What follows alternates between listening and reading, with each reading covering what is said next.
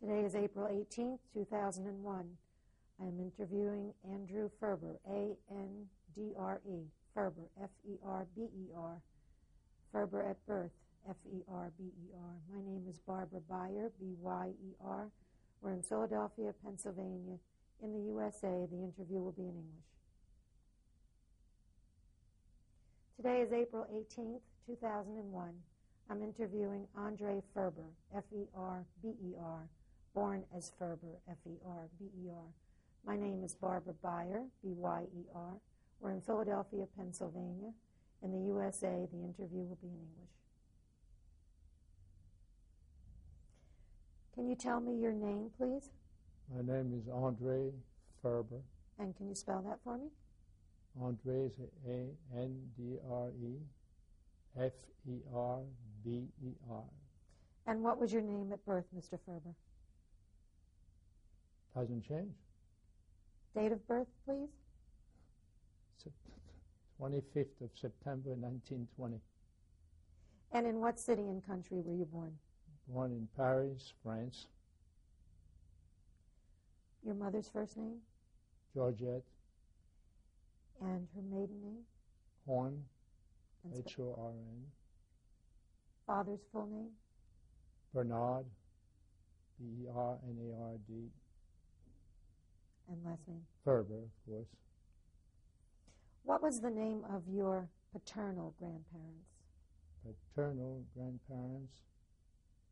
Uh,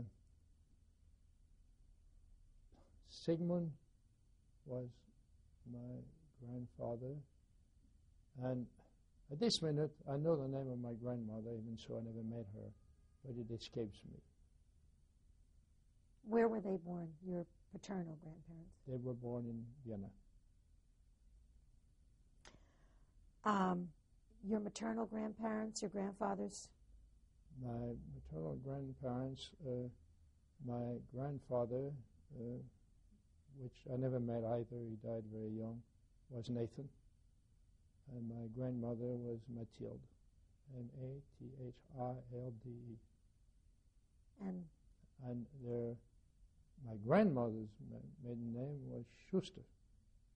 And she was born in Alsace near Haguenau, which at that time was part of France. and the last name again? Their last maiden name? name? No, your No, my- grandfather's. My paternal Horn. Thank you. Sorry. Uh, what do you remember most about your grandparents? Well, as I mentioned, I only remember my maternal grandmother. I remember lots of things because basically uh, we saw lots of her. She didn't live with us, but we frequently visited her, and she frequently came to see us. Uh, she came to many of the vacation we had together through the years, uh, and she actually lived uh, until uh, 19, roughly around 1942 or 3. Um, actually, my uncle, uh, her son, had put her in a convent during the war, and uh, she died there. Last time I saw her was, forgot, uh, I went to see her in probably around 1940, something like that. And uh, she was a very nice person.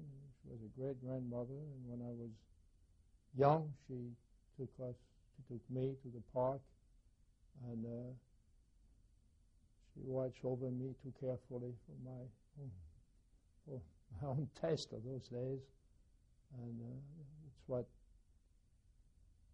Uh, I'm born and raised in an apartment, and therefore, people used to take their children to play in the park, like they do in Rittenhouse Square.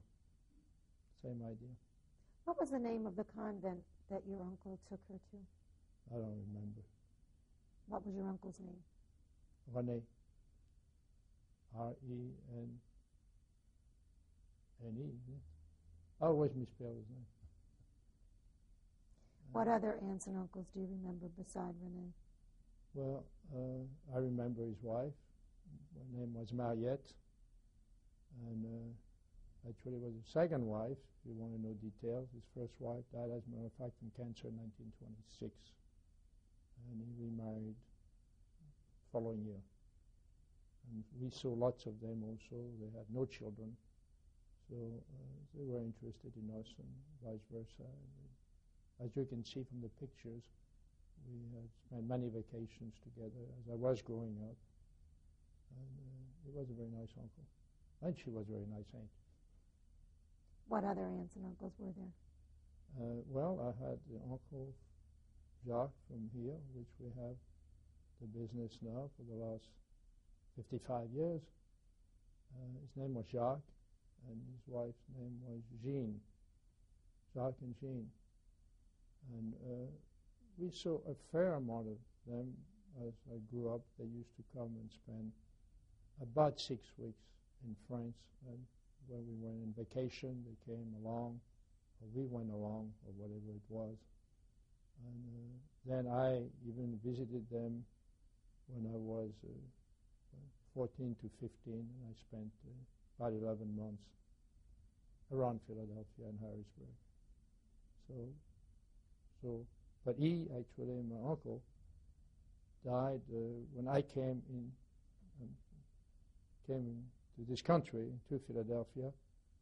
Uh, I came here September the 5th, 1945, and he died uh, November the 30th of the same year. We were only together. I, I, only worked for him 10 weeks, I guess that's what it comes to. What other um, siblings did you have? What siblings were in your family? I have one sister.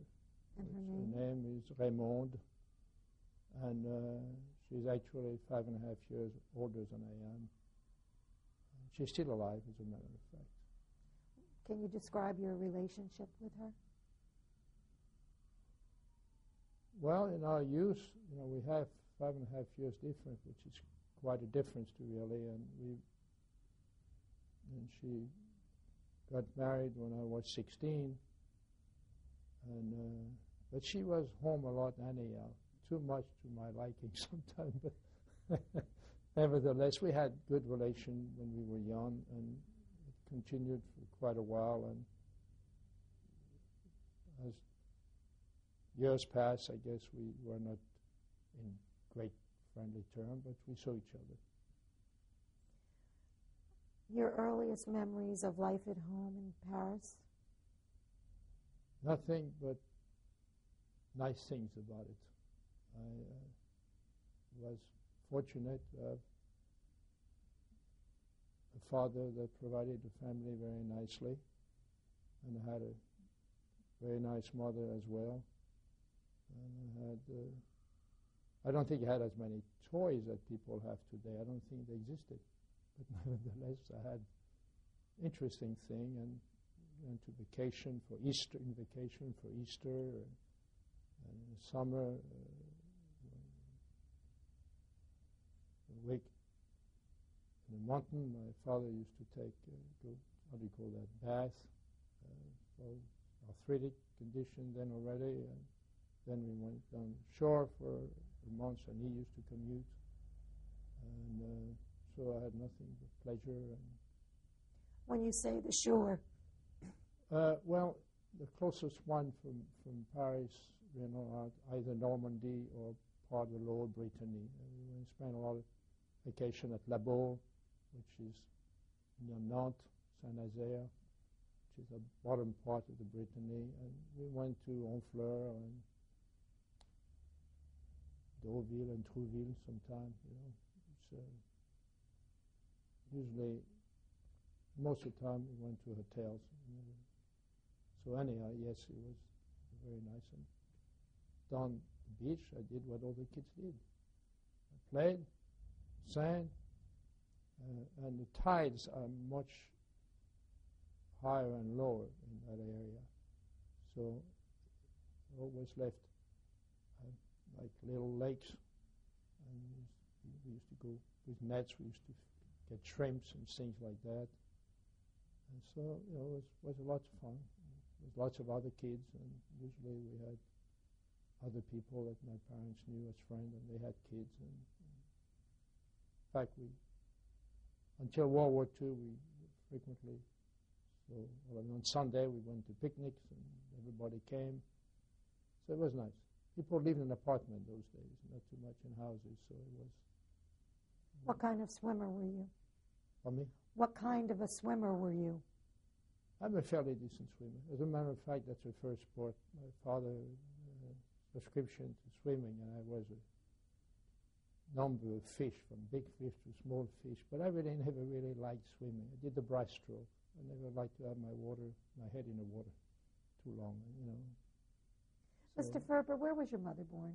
my mother born in Paris. And what was her occupation? She took care of us. no, she was a housewife. She was involved in certain uh, charity also then, which was well, was not as the organization were very different that exists today in the United States. They're probably different in France to do, but I'm not familiar what France is now when it comes to women's organization. How would you describe your fondest memory of your mother?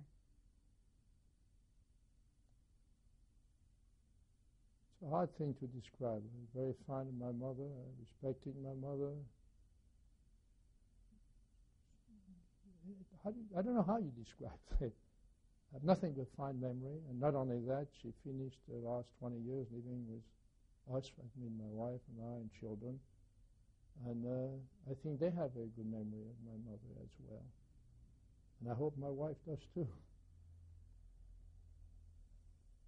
What values and lasting lessons of morality and family issues did she leave you with? My mother was a wonderful human being. She was kind to begin with. She had empathy and sympathy for people. Um, she, well, when things change a lot, of course, when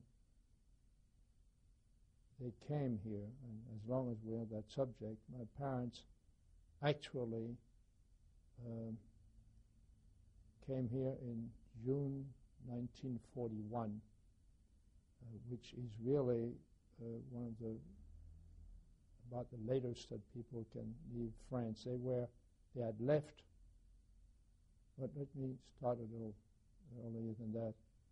My father, as soon as the German invaded France, while the war started in September the 3rd, 1940. 39 actually.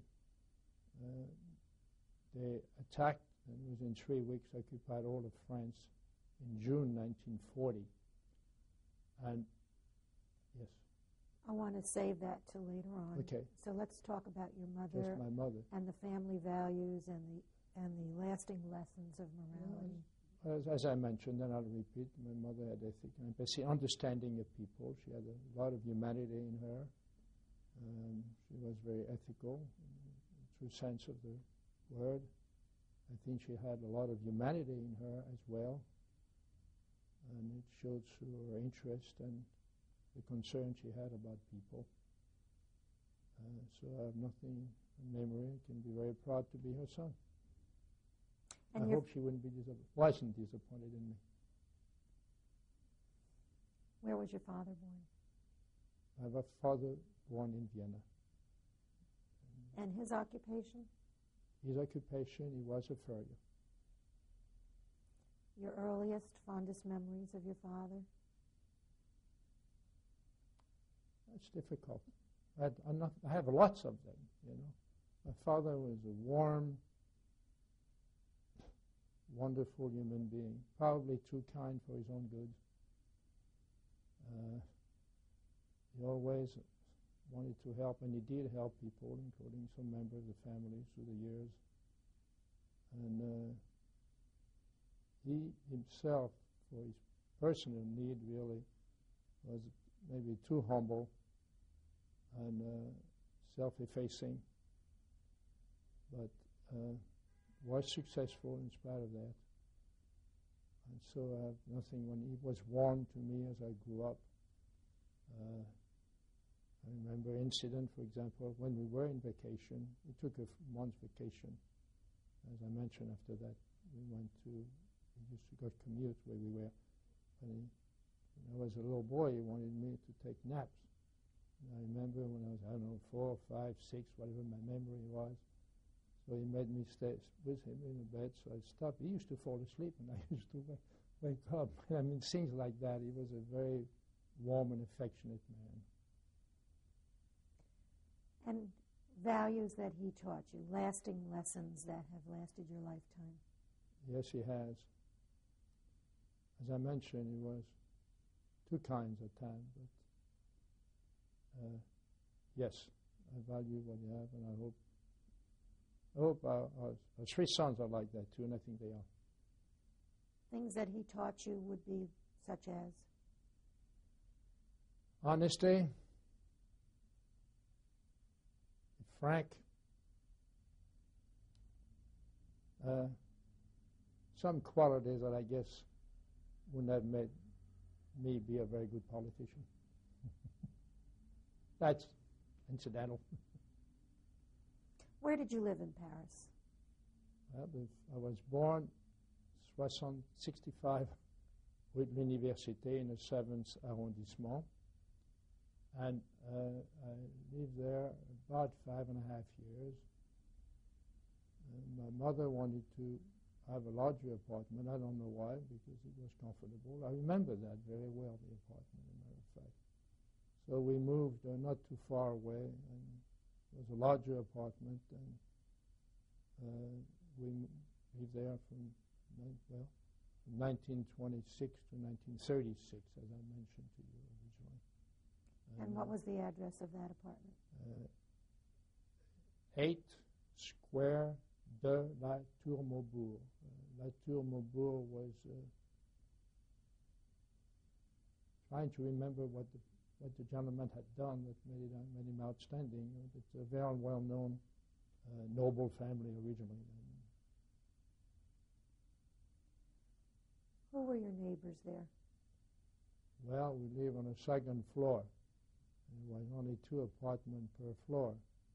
And the gentleman on the other side was a gentleman that became infamous, but then he was famous.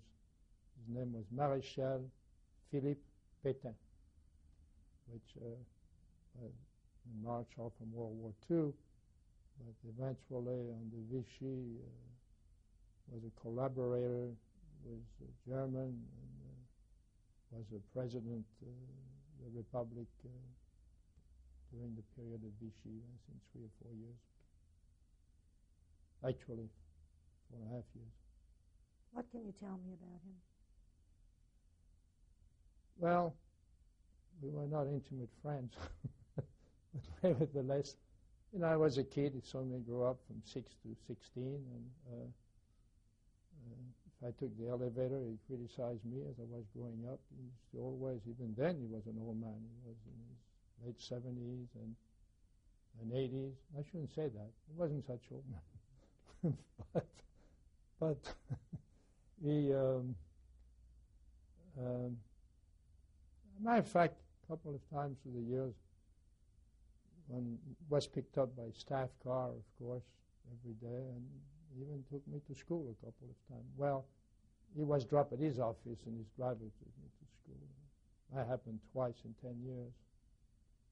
But that didn't make him, well, later on during the war, I didn't make him like, didn't make me like him any better for that. Yeah, he was, uh, I think he was pro-German and very conservative and uh, it was, I think, well, I have no proof of it, but it seems that he collaborated, as I mentioned, with many of the right, extreme right element of France during that period, particularly the 30s. So then how would you describe your relationship with him? Well, that's all. I mean, it was nothing. What were your responsibilities as a youngster? to be happy. I don't didn't have any responsibility at home in that sense. Uh, so, I mean, I had to brush my teeth and things like that. How would you describe your family's economic situation? Well, we were not the Rothschilds, but uh, we were very comfortable, as I mentioned.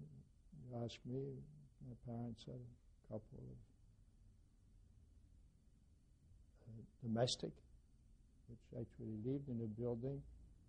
They apart, it was two bedroom on the eighth floor with maids and actually, were, I guess, in in in health or whatever you call it. And, uh, but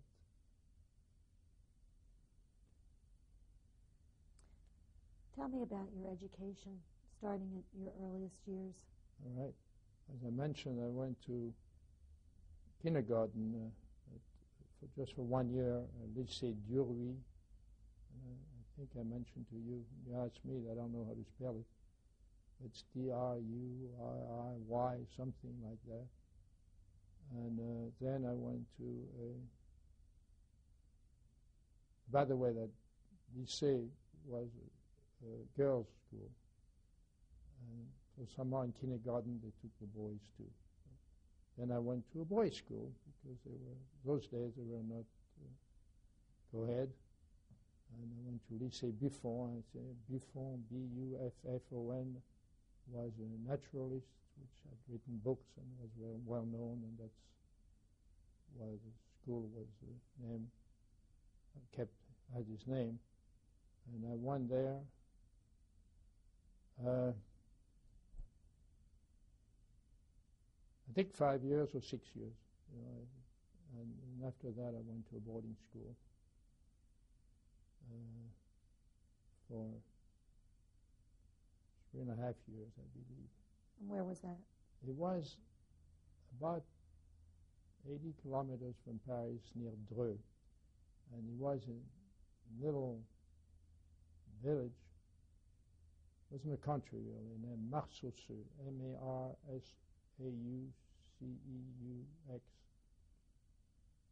And uh, it was a smaller school. I don't think it was more than 50 students of different grades. And uh, after that, I went to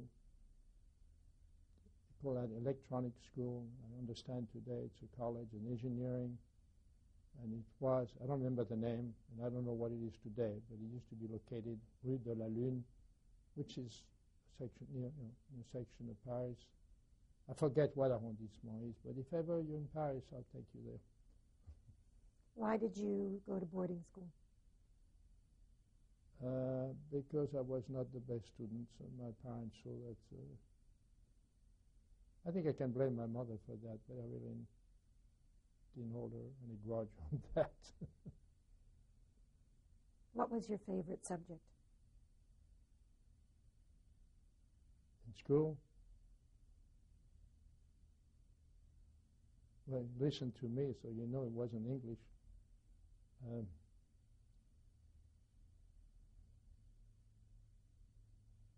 I guess, well, never, I never followed up. I guess I, I in, electronics, uh, those days it was nothing like it is today. It was mostly radio. And the radio wasn't even that old those days. And, uh, and I think that's why I ended up to that school. But apparently I didn't pursue it anyhow. And uh, I'm very happy with the business we've had or my trade. So I have no regrets. How many Jewish students were in school with you? One. I think it was one. What was his or her? No, it's two. Two, two. What were One they? name was Levy and the other one was Auerbach. And Auerbach and I, we didn't get along. How did-. Somehow. How Never did, seen him since. how did you get along with the non-Jewish students? I never had any problem. I truly, I don't recall any incident that I had that even in Lycée Buffon, I, I actually, it was on a percentage basis, not too many Jews in schools those days. It was more Jews that came in, into France in the early 30s, but particularly middle 30 and after when things in Germany with Hitler and change and then change in Central Europe. So you never had too many percentage of Jewish kids than the other. Was there some anti-Semitism? I guess so. I don't remember one incident. I don't know why, how old I was, 11, 10, 11. Uh, we walked back and forth from school. Uh, maybe it was uh, Mal, something like that. And uh, I had made friend with a kid that actually lived Square de la Tour Maubourg, but just you know, two, two, two buildings away. And after, and I went to his, played to his, to, uh, one played his apartment, and he came to ours. And I remember his name was Jean, something like younger, younger German name or something like that. Anyhow, and after two or three months like that, uh, his father and mother apparently learned that we were Jewish, and uh, I couldn't play with him, he couldn't invite me. And that's the only incident I remember of my youth. And amazingly, they were Protestant. There was very few Protestants in France those days. More today, but it's still a small percentage. You know, by and large, in France, people were Catholic. School, uh, churches were not well attended, but they were Catholic.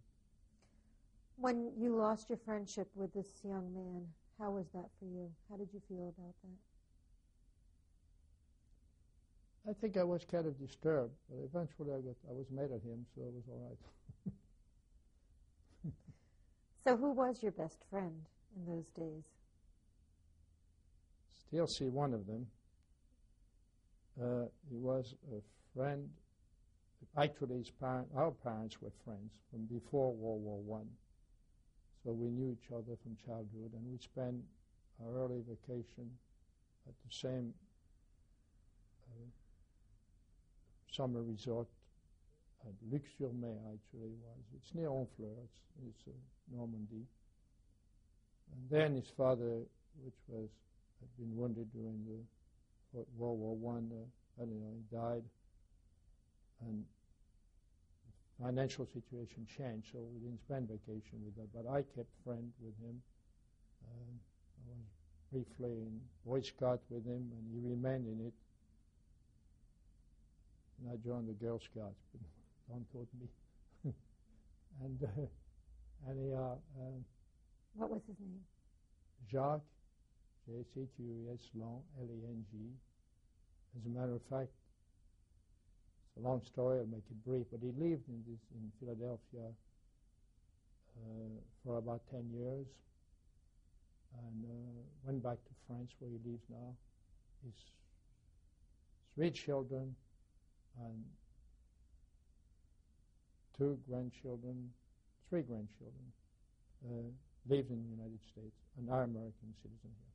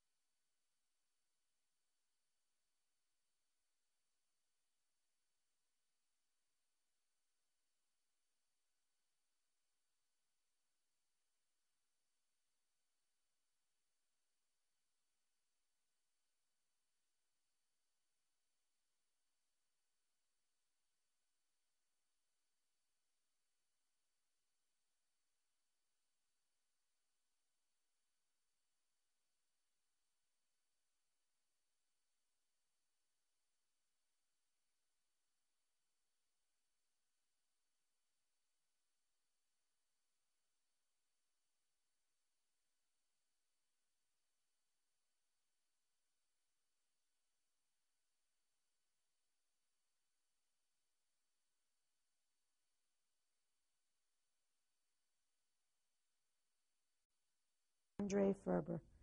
Mr. Ferber, we were talking about uh, your best friend. Um, is there anything more you'd like to add about him? Uh, no, he's a very decent and, and nice person. He's been what you expect from a good father. Uh, you're asking me about my life, not his, when he had his problem during the war also. Uh, he was in France. And uh, as I mentioned, we've stayed friends all those years from childhood. And uh, when we go to France, of course, we see him. And uh, a little bit of things that I have some time to do in France. I ask him to do it for me. I mean, he's the kind of guy you can depend on. And uh, he has a nice wife. And he had a, the oldest daughter is about 58 now. She, she was born in 1942 or 3. And I always ask him how he did have a child at that period, but nevertheless, they did. Who influenced you in your life the most, or who did you influence during your lifetime? Well, I think my wife of 54 years is the one that influenced me the most. Um, uh, obviously, my parents were influential very much. They were warm and there, always ready to talk to me. Um, it's primarily uh, those are the people that influence me. As a child, was there anybody on the outside that had a great influence on you? No, not really. I mean, I, I, my, my mother's uh, brother was very, you know, my uncle was very, very nice. So he had no children. I saw lots of him, but he did not have the personality to influence you. So I would say. No. What did you like to do in your free time when you weren't in school? What kind of hobbies? Fine. Well, I'd like to point out the French school might have changed, but not that much. Uh, there was no sports You had two hours of so-called gym, and uh, didn't amount to much. I mean, if you couldn't climb the rope, so you didn't do much. and uh, sometimes inside court of the school, we didn't have schools were different playground was inside and not outside like a fortress. And uh, sometimes play soccer, but you know, that's so. Uh, my father obviously influenced me a lot. First, swimming, uh, swimming lesson and all, and I competed a little bit. I forget what kind of fish I was, but I went through a couple of series of fishes. Uh, also, I went ice skating a lot I didn't really compete or anything or play hockey, but I was a very social type of thing. Uh, and so I had a subscription to a skating ring and to a swimming pool. I mean, they were in the same place. Uh, I crew, I, I, went rowing for a while. And when I was, I guess, close to 16, I'm the one that wanted to go boxing. And boxing was not school sport because we didn't have any. So I went to a place where you learn how to box, and which is what's called I suppose Club Alhambra or something, and uh, where I train uh, three times a week, anyhow, uh, in the evening, um, from 19, mostly from 19 on and off 36 to to 1940. And so there was boxing, to train for boxing and boxing, fake boxing takes lots of time. How did you become interested in that? Well, I wish I hadn't because I think it's a stupid sport. But nevertheless, those days, I, I don't know. I really don't know. I think I, a fellow I knew, I think, uh, influenced me. Said, "Why don't you come?" And it wasn't a sport really that was considered a nice sport for uh, uh, kids from a good family. And uh, my, my, father and mother, particularly my mother, was very disappointed. I don't blame her today, but I did it, and, uh, that's and in, in ways that uh, had fun with it, and uh, during the war uh, helped me a little bit. Uh, for a year, nearly a year, I trained and I boxed again, I was sponsored by a man that had a restaurant. I was then living in Toulouse, and uh, I could eat what I wanted. What during, was but during the war, you have to think. I know you had ration in the United States, but you can't compare what occupied. Uh, it's, it's no comparison. You had coupon, and you couldn't find anything with a coupon, and it was hard to even find rutabagas. So uh, What was this man's name who sponsored you? I don't remember his name. You know, he was was not really a friend of mine. Also, he liked boxing. How far did you go with this boxing career? Well, it wasn't a career. I was an amateur, and uh, I won the French uh, equivalent of Golden Gloves here, and. Uh, don't know how good I was, but I don't think uh, I was ready for my Muhammad Ali.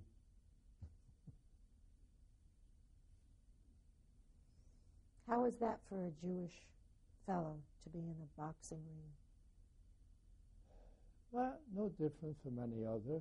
Uh, it wasn't, as I mentioned, it wasn't a large percentage of Jewish people in France. I think in France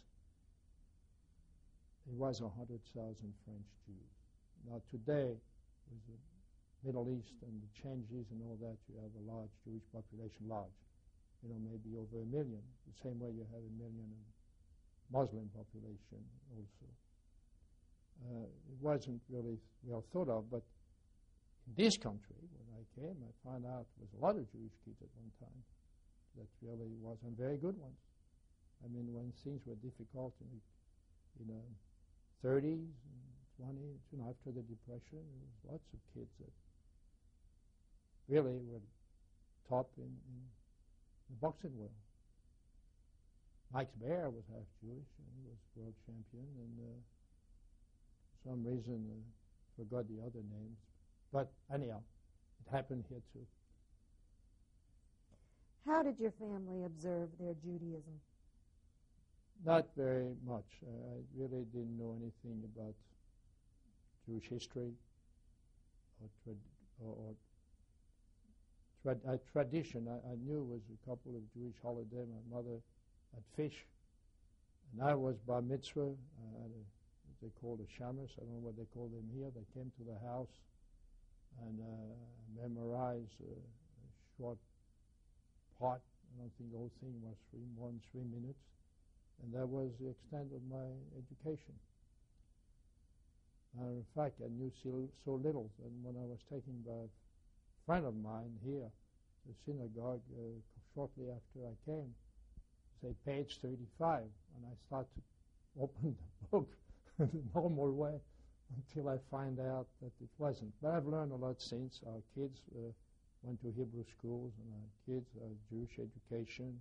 One, one even was even confirmed, and I went to the synagogue because I had to show a good example. Can you describe the day that you were bar mitzvah? Uh, it was not the elaborate affair that happens today, and it was strictly the friends of the bar mitzvah boy. I don't, I only remember bat, bat mitzvah, and it was only bar mitzvah. And uh, I had five or six kids. I don't remember any other adult, but I think I had a couple of, you know, uncle and aunts and a couple of, that was all. Uh, and I think this was true even in, you know, wealthy, very wealthy family. It was not the kind of thing that you did. Now, in religious people, maybe it was a little different, but it was just celebrate the bar mitzvah of the child. It was strictly the family. It was not what it has become now. How often did your family go to services, religious services? I hate to say that, but never. never. It wasn't well attended. Synagogues were not well attended to the best of what I, I can find. Uh, maybe the high holidays, some people, you know, What do you what, yeah. What do you remember about high holidays? But personally, I don't. but I, I know that some some friends of my parents, for example, I know went. But my parents did not. I think my mother was very affected uh, as a youth. Uh, while the Dreyfus affair was considerably before that, uh, afterward it was a fair amount of anti-Semitism in, in Europe. And uh, parents were in the furniture business, had a furniture store. And apparently there were a lot of people destroying some of the furniture when they could and uh, insulting them, whatever say. So I think she she she was trying to avoid this exposure to that. She never said it in those words, but I'm pretty sure that's how she felt. What books and newspapers were available to you in your home? Well, there was always a couple of newspaper at home. My father was in, very interested in politics. I think he was pretty well liberal in thinking. And, uh, and of course, there was no television, and say the radio news were practically non-existent. And my father discussed it as I grew up uh, with his friends and guests that he had. And uh, when I was a little older, I think uh, I participated if were. And what type of discussions were they? Um,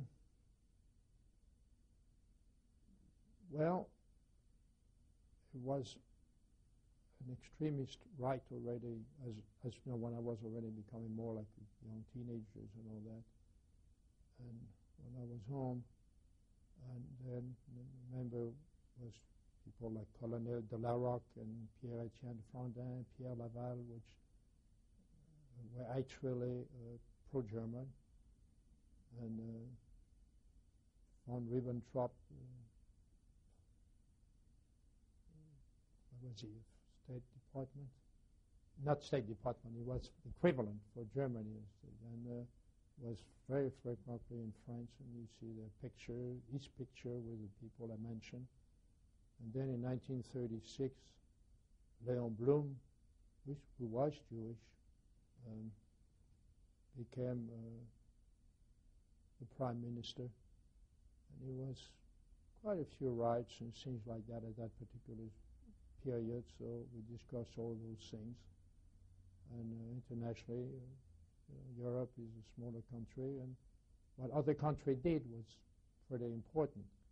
And it affected, of course, France, particularly Germany, and uh, reaction of England to all the process, and discussed it also that was an element of, uh, of the English hierarchy, really, there was kind of pro-German, because it basically had a lot of business relationship.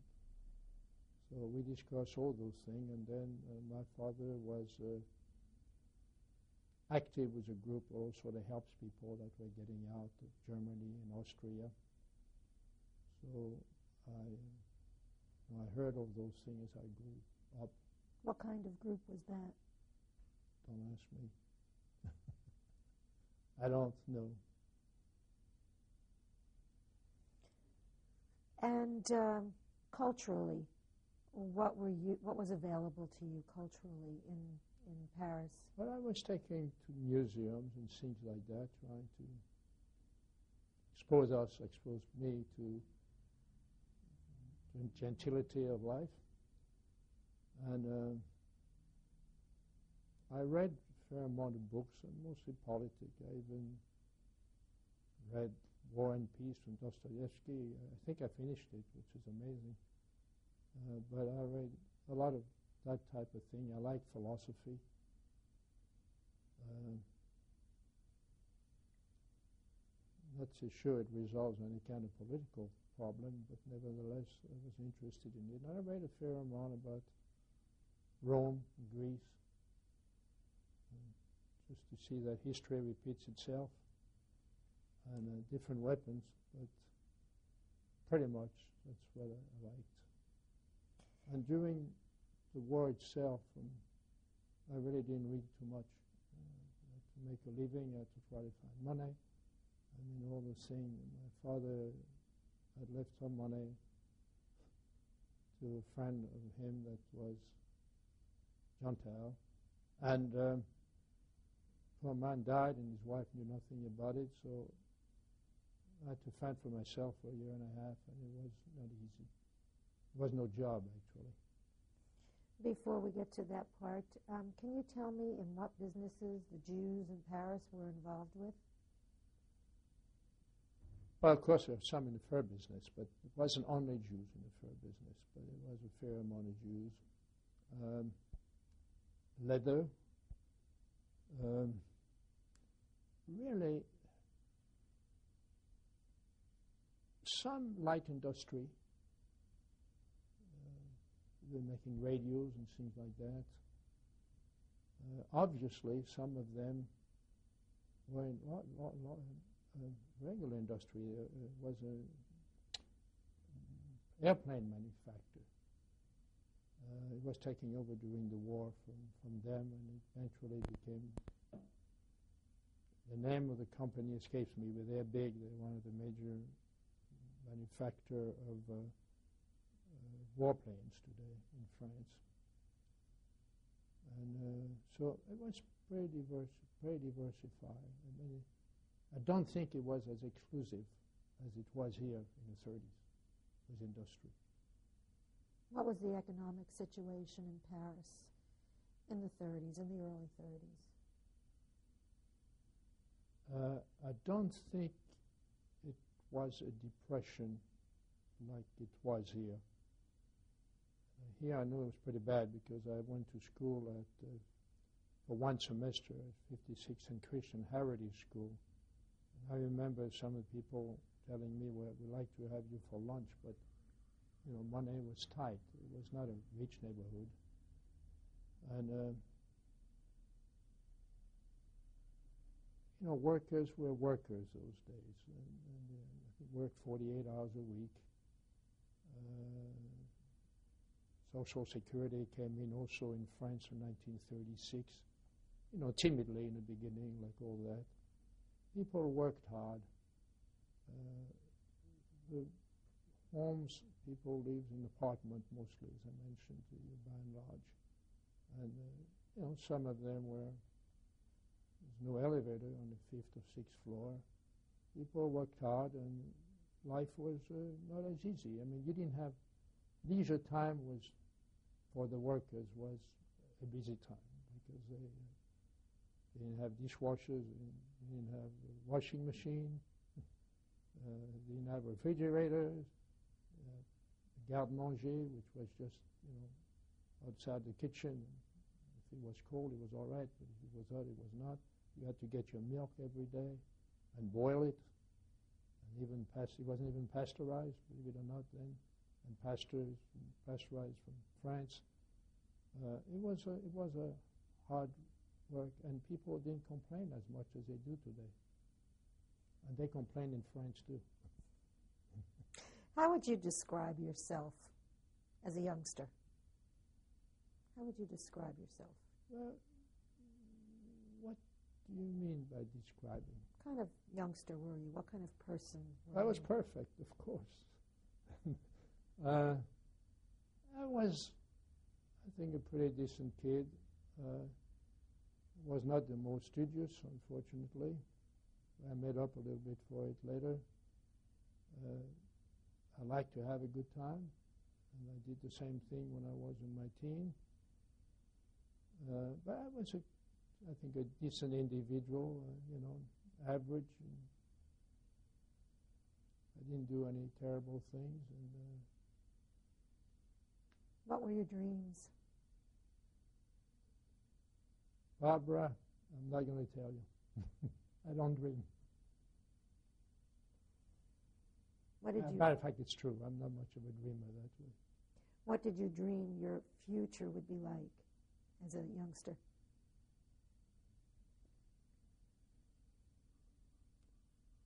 I don't remember. I really don't. I, you know, I'm sure that I vacillated at times. I thought of one thing at time or another.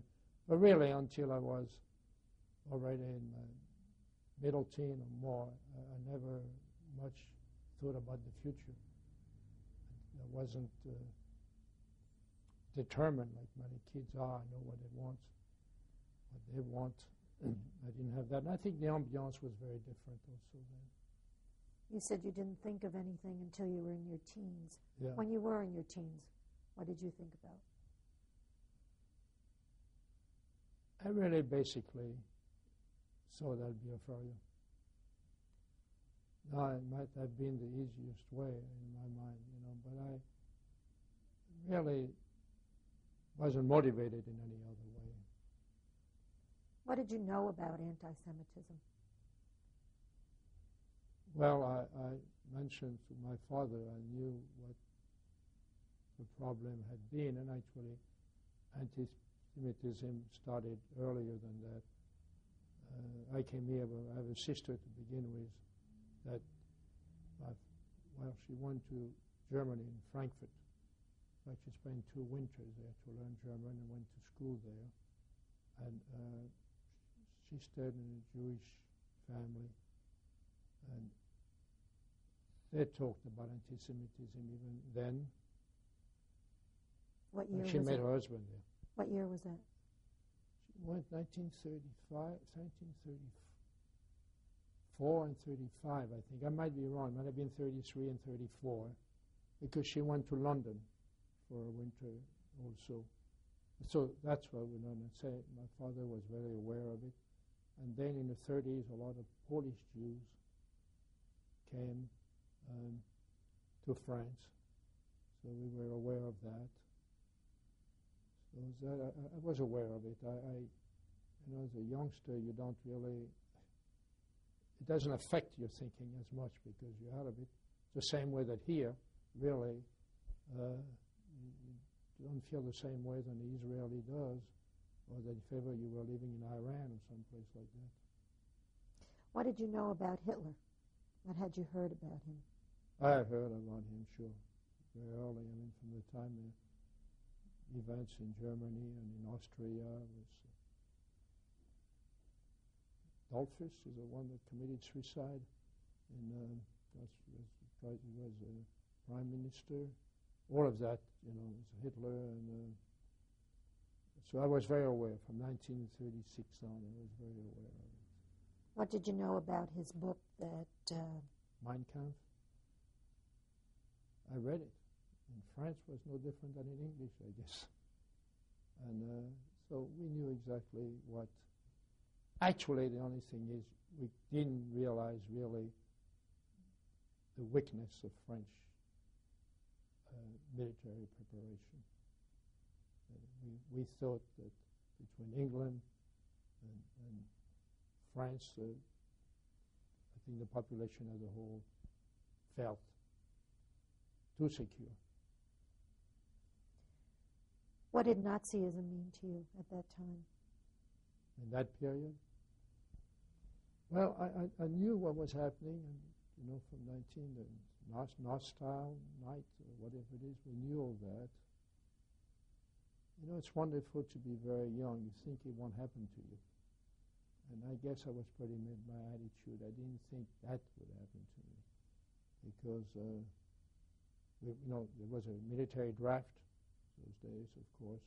Uh, and uh, I even, uh, when I was 18, uh, signed for it. It was one of those things you go for eight months and, and one night a week and one month a week. So because I wanted to be in, in, get rid of the military draft and then do whatever I wanted to do after that.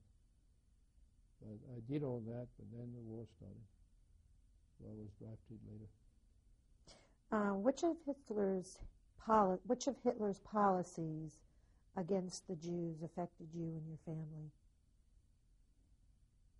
You mean what happened to our, my family? Well, when uh, the German went through Brussels, Br- Br- um, Belgium, and very rapidly advanced. Anyway, we we left. I said we, uh, the four of us, my brother-in-law, which was in the army in the north of France, you know, managed to come south, and we drove. Uh, we had their car, his car, and our car, one pulling the other with a rope, and we decided we started to go south. When was that? This was in June 1940. And we were not the only one. There was lots of people on the road. People really, some, some wasn't only Jews. I mean, a lot of people did not want to be in uh, under under Germany, under German domination, and then also they were always had hope that you know they'll be stopped and things will change. We obviously it did not, and we went to first up in a place named Castel Jaloux, which is know, the area of Bordeaux, and uh, the people my parents knew not too well, and they didn't know we were Jewish. And you know, at that time, my parents felt, well, maybe we should try that. And we uh, stayed there. Uh, my parents rented a place, and uh, the people that they knew helped them, and uh, stayed there several weeks. And after several weeks, we continued pulling one another, and because gasoline was couldn't find it. What prompted them to leave? Well, because my father wanted, felt if ever there is any possibility that they were a free part that would be, which is what happened, wasn't free. Uh, obviously, was not completely uh, under domination of the German army. And the main reason it wasn't is because they benefited of commerce with the United States and other nations under Vichy until Pearl Harbor, and things changed. And um,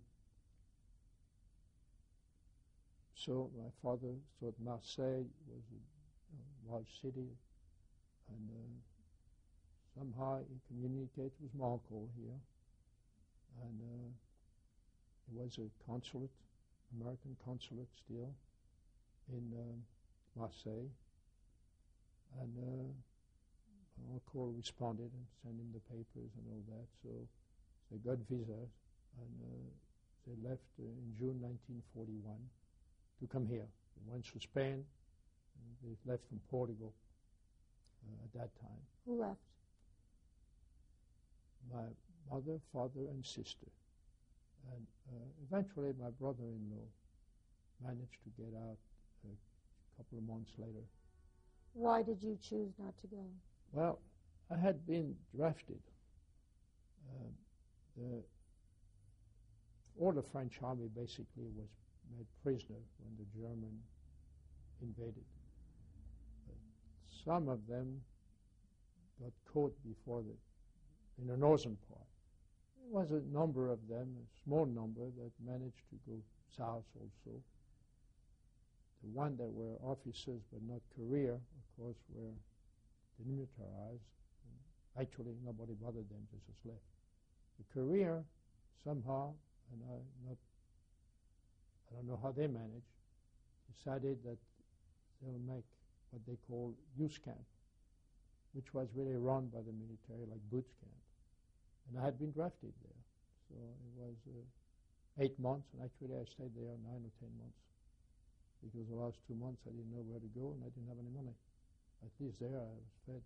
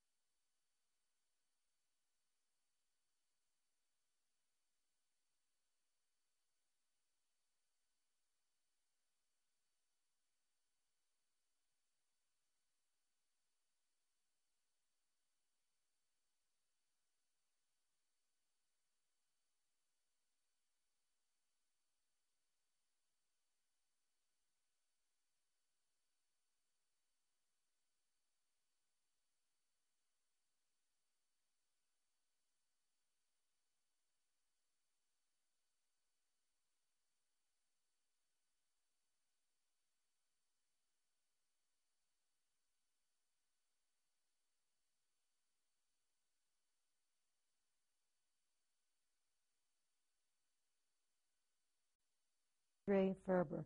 Mr. Ferber, we were talking about um, the fact that your mother, father, sister uh, were getting ready to leave Paris. Um, what were the conditions in Paris that caused them to want to leave their home? Well, my, pa- my father, as mentioned previously, was very aware of what happened in Germany to the Jews. Matter of fact, maybe he didn't know as bad as it was. Uh, and uh, he wanted to leave already before that, before the war. Actually, in 1938, he started to say it's time to leave because he felt that the French government army wasn't getting ready for what and the prepar- when he saw the preparation that Hitler uh, in Germany was uh, was doing. So uh, he did not want to be. uh, his hope, as I mentioned, was that they would be stopped. But nevertheless, uh, he wanted to come to the United States because he knew that life would be impossible if if it would be possible at all. Yes. Uh, so he he was motivated, knowing exactly what was happening, and uh, he wanted to avoid his family and himself to be submitted to to what he knew about it. As I mentioned, it, was, it turned out to be even worse than that. Because some Jews, actually, uh, the first concentration camp was Sachsenhausen in Oranienburg, and they have many non-Jews first. I mean, they had all the social democrat and political enemy of the Nazi. And then they started to put Jews in 1938 and 1939. And, uh, uh, and, and actually, some of them survived. And I knew a couple. I didn't know them, but I met them here. So it's really, as a German, well, I'm, I'm, I'm, passing over a couple of years, but it's really uh, when they end up in Poland, and actually all the concentration camps that were in Poland, um, particularly uh, Auschwitz and uh, the other camp near Auschwitz, uh, really were the death camp. And when you came into concentration camp, the first thing they did is, you know, you drop your clothes and uh, put you through a shower. I mean, this is from the very beginning, even when I got there. And they shaved you all over, and they spray you. They were afraid of typhus and many other things. And uh, so all the camps had that. The difference, apparently, in Auschwitz is that you went in the shower, that they gassed you. And, so there was a difference. So my father was not aware of, obviously, of the gassing and all that at that period. But I don't even think it was done originally. It was really probably done in the end when actually the German had to squeeze between the Russian on one side and Europe, the Allied on the other. And, uh, and I think that's what happened. There was a final solution type of thing. But many Jews were in camp for several years. Many didn't make it. I mean, but so my father was kind of aware of those things. So, what was the atmosphere then in Paris when your parents left? Uh, left because the German army was advancing very, very rapidly. After all, it's not that far from the Belgian border to Paris, and uh, decided to leave. And we, we took steps. We stopped at a place. My father had rented a villa on La Baule, which is near Saint-Nazaire, so we stopped there. And actually, uh, a brother-in-law, by chance, had guessed what the first step would be, and wait there, and then they advanced anyhow. So three or four days later we came, and then we started to leave, and we had accumulated as much gas in the two cars we could, and uh, and that's how we did. You know, say one pulled the other, and we went to Casteljaloux, and then we went to, to Aix-en-Provence, which is near Marseille. And who was able to help him? On me? Who was able to help your father and mother? Uh, well, at that time, uh, my father pa- apparently uh, accumulated as much money he could carry, and uh, because you know, that's before the occupation. As a matter of fact, no, go back to that. Um, he had decided, and the first thing he did is to go to the American embassy. No, I told you, he wrote my uncle, my uncle signed that. I mean, it was communication still existed. It was fast, it wasn't fast, and uh, you know, letters were. Uh, post office was looked at. I mean, they were open, very, but nevertheless, it was no law against that. And uh, so far, uh, the, the, Jews really uh, in the so-called occupied zone in the north in the beginning, it was no, they didn't, those restrictions against the Jew didn't happen the first year. So it happened after that. Uh, and so, I say, he managed to put together whatever he could. Uh,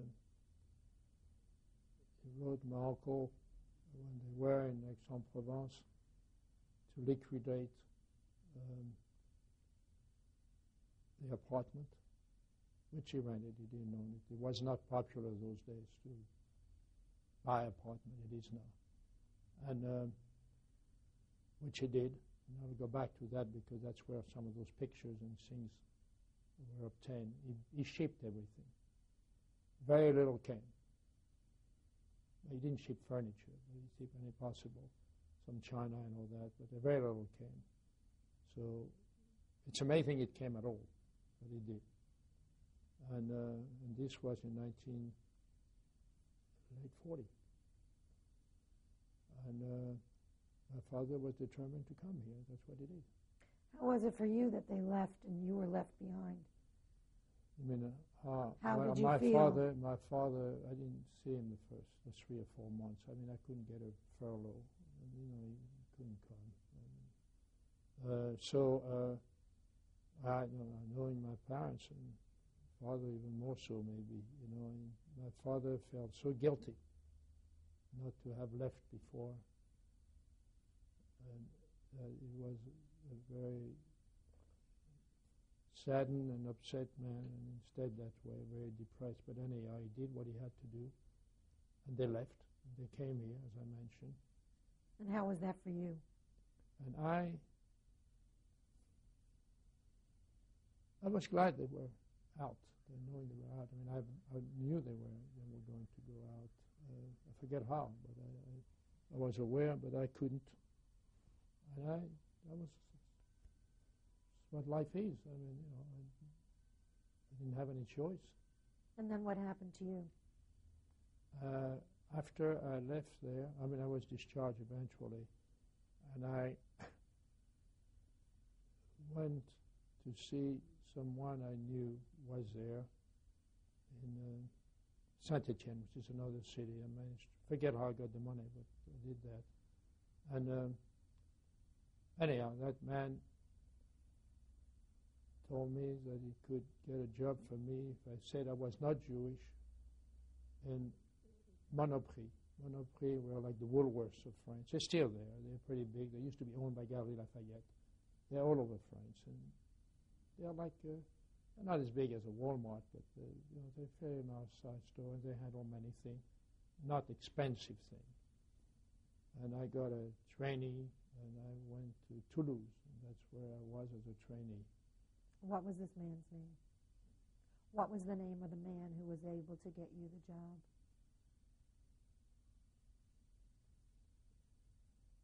His name was Yves Y-V-S Oppert. He happened to be Jewish. And he was still there, and he could help me. Eyes were related to my brother-in-law. Uh, so anyhow, and he got he, he got out. Matter of fact, he joined the underground and he got killed, and he didn't survive. But uh, his uh, wife happens to live in Palm, Palm, Palm Spring. My ex-wife. She got remarried and all that since, but I mean, yeah. Interesting. And yeah, uh, and I went to Toulouse, and uh, actually the man that was a manager there was not originally that. He was an engineer or something, and he was successful, but obviously somebody put him there. And uh, And he had an assistant also of the same kind, uh, non Jews, of course. And uh, they really weren't teaching me anything. Actually, they didn't care if I was there or not. And I don't think I learned too much, but I, I was there for, I worked there for, I don't know, altogether maybe eight or ten months. And uh, as I mentioned, they, they were not helpful at all. And uh, they were asking me a lot of questions. They were wondering where I was from. And I used to say, well, I don't know. I left my parents three years ago. I don't know where they are. And so forth. And they became suspicious. And, uh, and I, at that time also, had met other people. And I did box. You know. Um, and uh, on a point I wanted to make. And I was not comfortable really to work there anymore. I think they were wanting to get rid of me because they did a lot of things that they were not supposed to do. Such as? Such as apparently they were had a bonus if ever the volume of the business grew. And they had managed to be in with some of the politicians of Toulouse at that time, which obviously were not um, from the left. Now they are, but those days, the one they were from the left, of course, had lost their job. And uh, they were buying, I don't know, all kinds of junk wherever they could, merchandise, uh, clothing, and all that, and selling it to the city for the poor, the poor the people that needed things. Where they got the merchandise, I don't know. But they didn't want anybody to know what they were doing, and I happened to know. So they, I started to, and also I had joined a group of men. You asked me a name, as I mentioned, and one was Georges Breminaire, and the other fellow, which I knew, the other fellow before. The other fellow was Grosfilet, Jean Grosfilet, I don't even know if it's his name.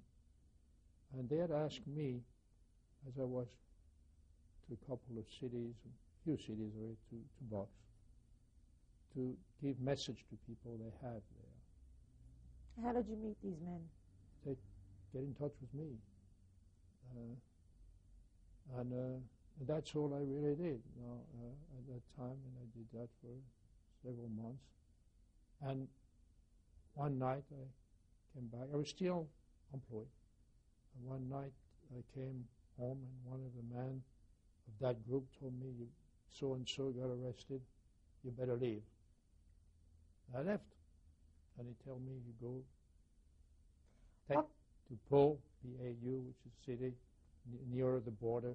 And from Pau, I took a bus. Uh, he told me who, you know, someone would contact me.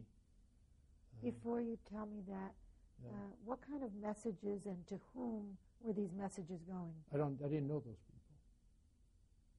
You know, they came to me. I don't know how they got in touch with them. What They kind of messages were they? I don't know. I got an envelope, and I gave them the envelope. Maybe was stupid, but I didn't know. I guess they were really, from what they told me, it was a question of getting organization and cooperation. Were you? Did you have to hide these envelopes? Did they? What specifically did they tell you um, was confidential in these envelopes? How did they tell you you had to deliver them? They told me someone would contact me. I did not have to look for the people, and they did. What was your feeling about it being confidential information? Well, maybe I should have thought more, but I did not. And who, who and when did they contact you? How did they contact you? They contacted me. Uh, if you go to other city, depending how far it was, uh, uh, they contacted me usually, believe it or not. Well, usually, uh, if it was overnight, they contacted me. They found out where, where we were, and uh, it was mostly overnight. And I remember once it was just practically in the dressing room where I was before going into the ring. I said I should have maybe be more inquisitive, but I was not. How many different types of fights were organized for you? Well, usually when I'm mature, you go there as a team um, to try to have eight men because the eight category, I think now it's nine. Uh, so when you come as a team, now sometimes you don't have all the categories, especially then. So sometimes it's only four, five. It was only, amateur, it's only three minutes. Three rounds of three minutes. What Still that way. What was your category? I was already a heavyweight then. I weighed pretty much what I weigh now. And uh, that, that's that's the way it, it was. And uh, somehow the boxing organization in each city seems to raise enough money to permit us to do that. And uh, anyhow, as I mentioned that evening, I came back from work and me, said, don't take your suitcase or anything, leave. So I left. And I, I went to Pau, as I mentioned, and from then I took a bus for about an hour, and I wish I remember what city because I would have benefits anyhow from the French government, which I don't have. and uh, I was I started to walk where I was told by a fellow. I got caught by a German Zoll patrol, you know, two men and a dog. And they had guns and I didn't, and I was called. And they took me to a local prison there, where they kept me about three days, know, interrogate you and so forth. What kind of papers did you have at that time? Uh, I was told not to take papers with me. Uh, I probably had an identity card. You know, the French still have it today if you live there. And uh, obviously they took everything. As I mentioned, uh, when I was, you know, you or you strip yourself look at you. They ask me how come I was circumcised, because that's an important fact in French. Now it's different, but French then was not, were not. And I told them I had medical problem and so on and so forth. They asked me where my parents was, and I said, I don't know. I haven't seen him in three years. They said, how come? I said, well, I didn't get along with him. I got away with it. And, and I, I stayed there three, four days and stayed there. I was in a cell which had no heat and it was open and it was cold as hell. But that's and then the, they sent me with a few others they had arrested. I mean, it was lots of people, non-Jews as well, more non-Jews that, that tried to do the same thing because many succeeded. If you managed to cross the border and meet the right party that you were supposed to meet in Spain, they took you to the Atlantic, and they were, and apparently the Span, Spanish, Spain uh, police or whatever, they closed their eyes and mentioned Franco must have closed their eyes and play the game kind of a thing. Go to North Africa, where you could join the French, Free French, which is what I wanted to do. Anyhow, so they took me to a prison named the Fo- Fort du Hâ in Bordeaux. It's very funny. I don't remember how I got there. I don't remember if it was train or buses, but it must have been, or truck, I mean, but it must have been a truck. There have been many trucks. And, uh, and it looked a lot like, why am missing? Which one is the police? Uh, Fairmount Avenue? You know, same kind of police. And uh, well, I, I, and I was interrogated again there, but I stayed there two and a half or three months. Uh, conditions were not idealistic.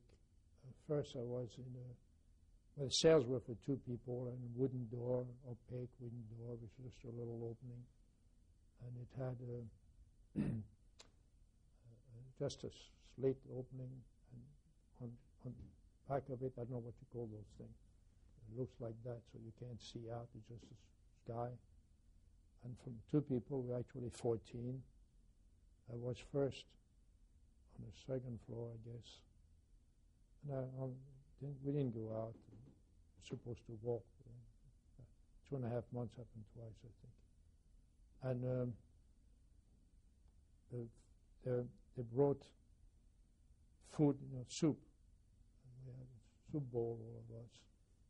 And uh, that's what we had with one slice of bread and uh, bucket to do our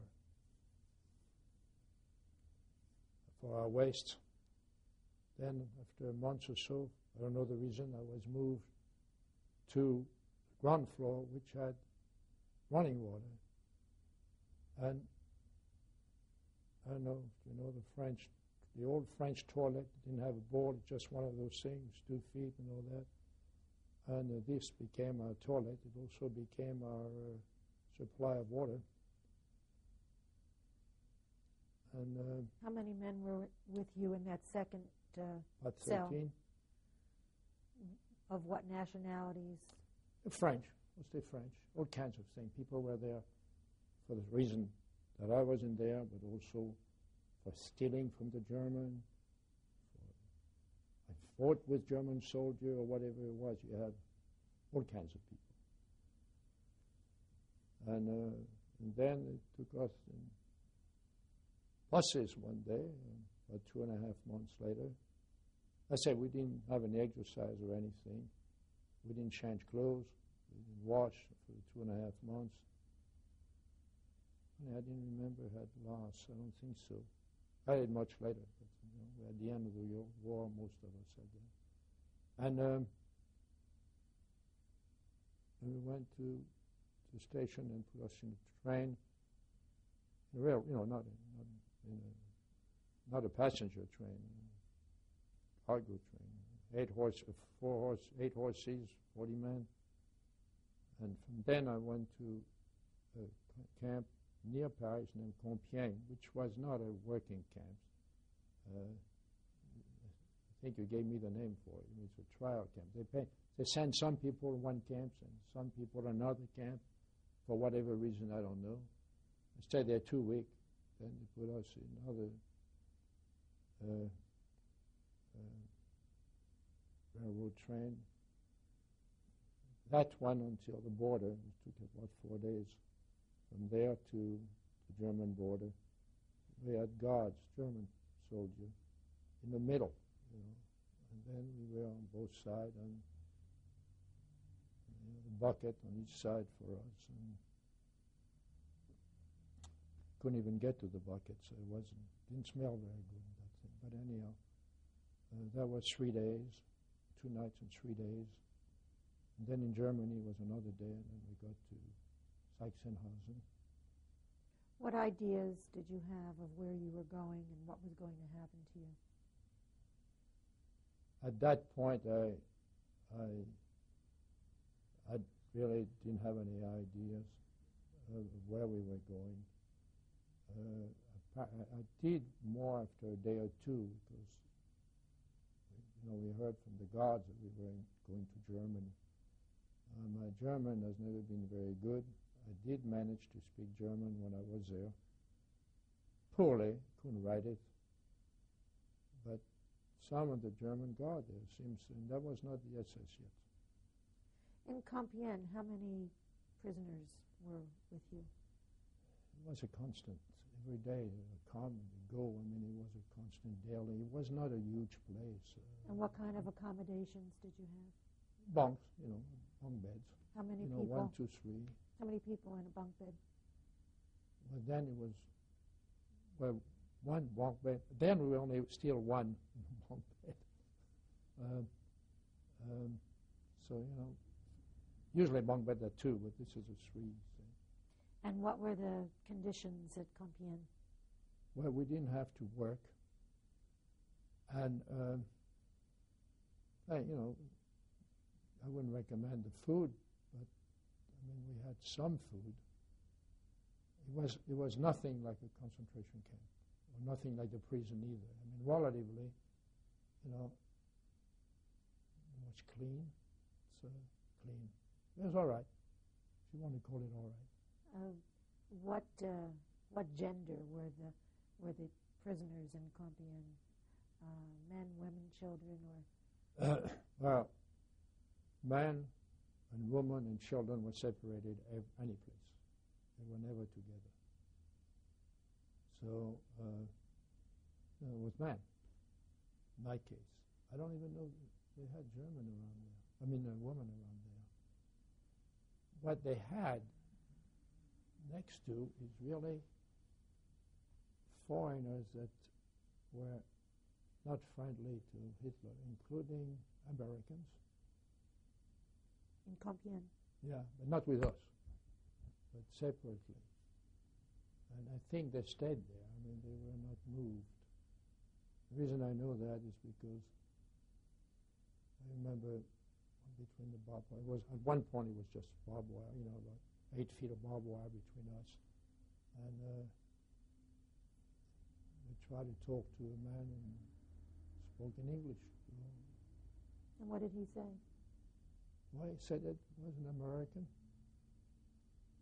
Lived in Long Island. You know, we couldn't have a long conversation, and then God saw us, so conversation was finished. But they were not with us. And then I only was there for two weeks in Compiègne. Then I went to, I mentioned Sachsenhausen. And your first impressions when you got there? Well, the first impression we got there, first we were put in quarantine because they were afraid of typhus and disease. And who's going us had been a sergeant in the for- French Foreign Legion. And uh, he decided uh, that his job, he told us, his job was to really make us understand that we were nothing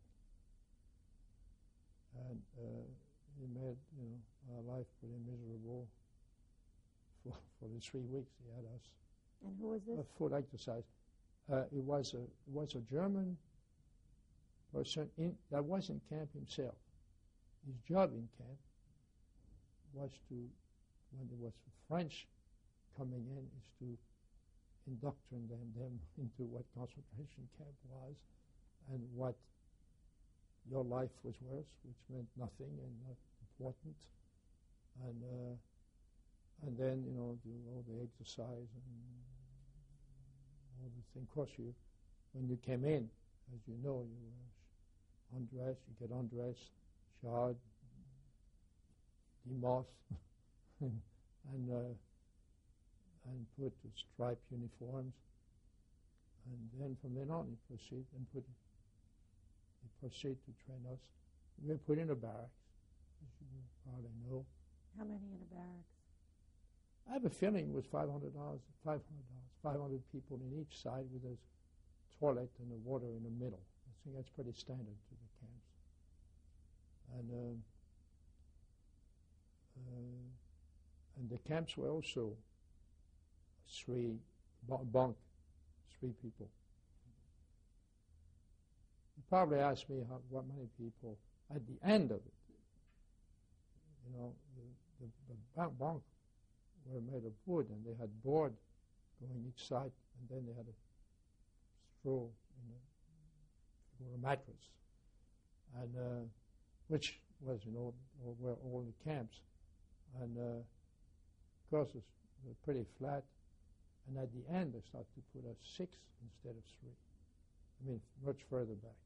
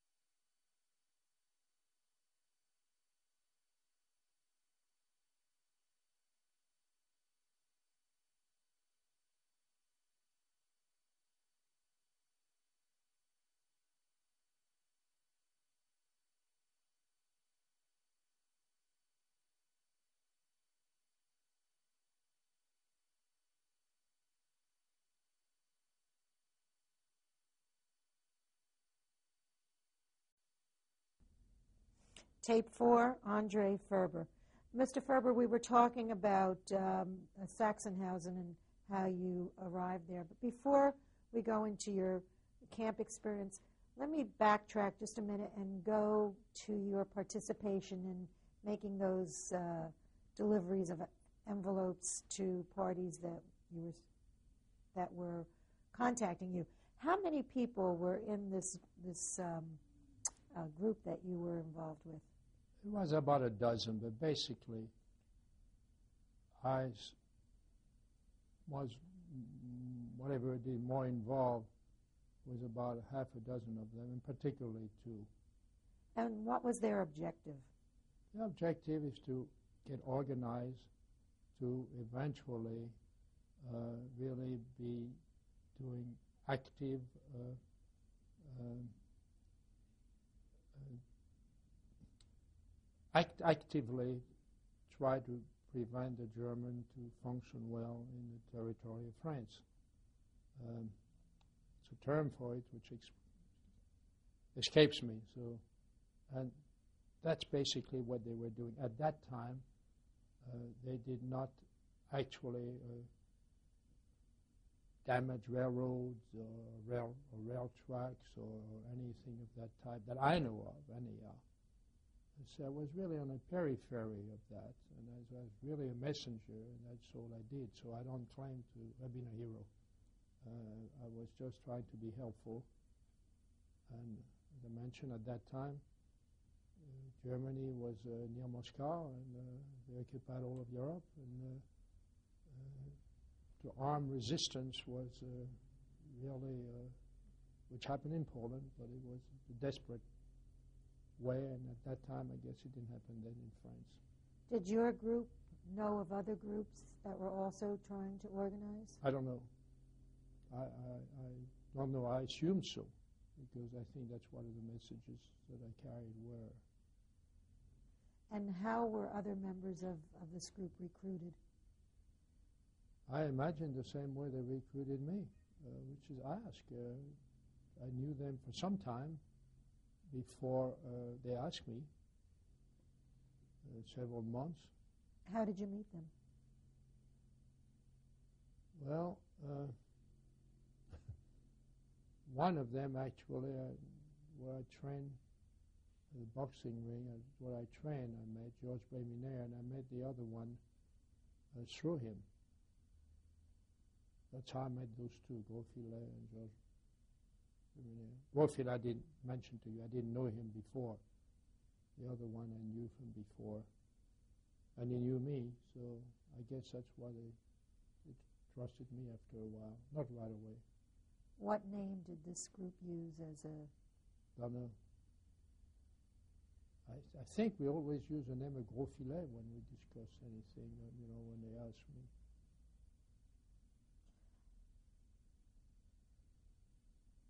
And how were the contacts made again?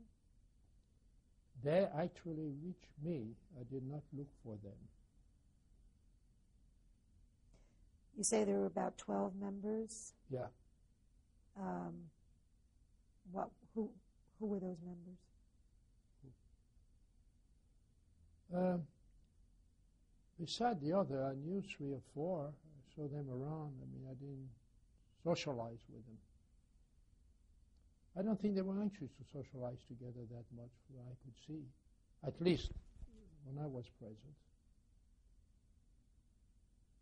Okay, so then let's um, continue on. Um, about uh, after your imprisonment, you went to um, uh, the first transit camp, and then uh, we were in Sachsenhausen. Your first impressions again? Uh, my first impression it was kind of a kind of a shock. I mean, you really lose your complete identity, of course, at the purpose of the so-called training to begin with. And, you know, it's, it's I must say the condition uh, so far there was clean, but it was, uh, well, the first three weeks, I'd say, was a quarantine. It was to condition you to be nothing. But it didn't take three weeks. In two days, you already knew. And uh,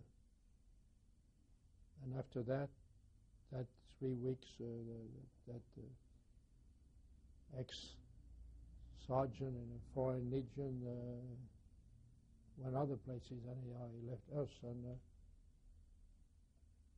I was sent in commando. You know, they, every day you counted and you went out to work.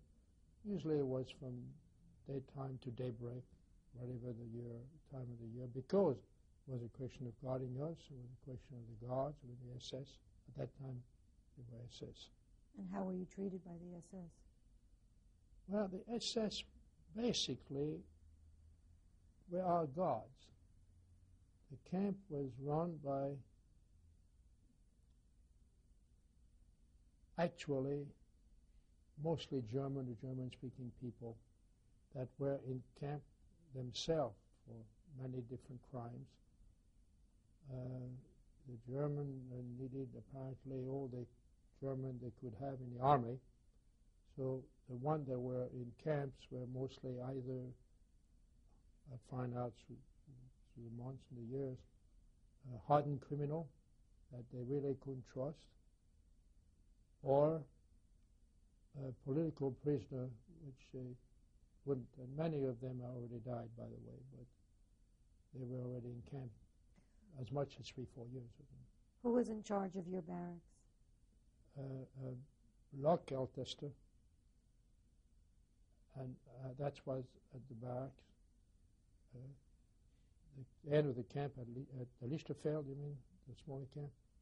A fellow named Peter he looked like Erich von Stroheim, if you remember him. Well, we were all shaved, you know, all over. And in Sachsenhausen? Sachsenhausen is such a huge camp. Uh, I was not close to where it was. You, know, you were counted by five, and it was. How were you counted?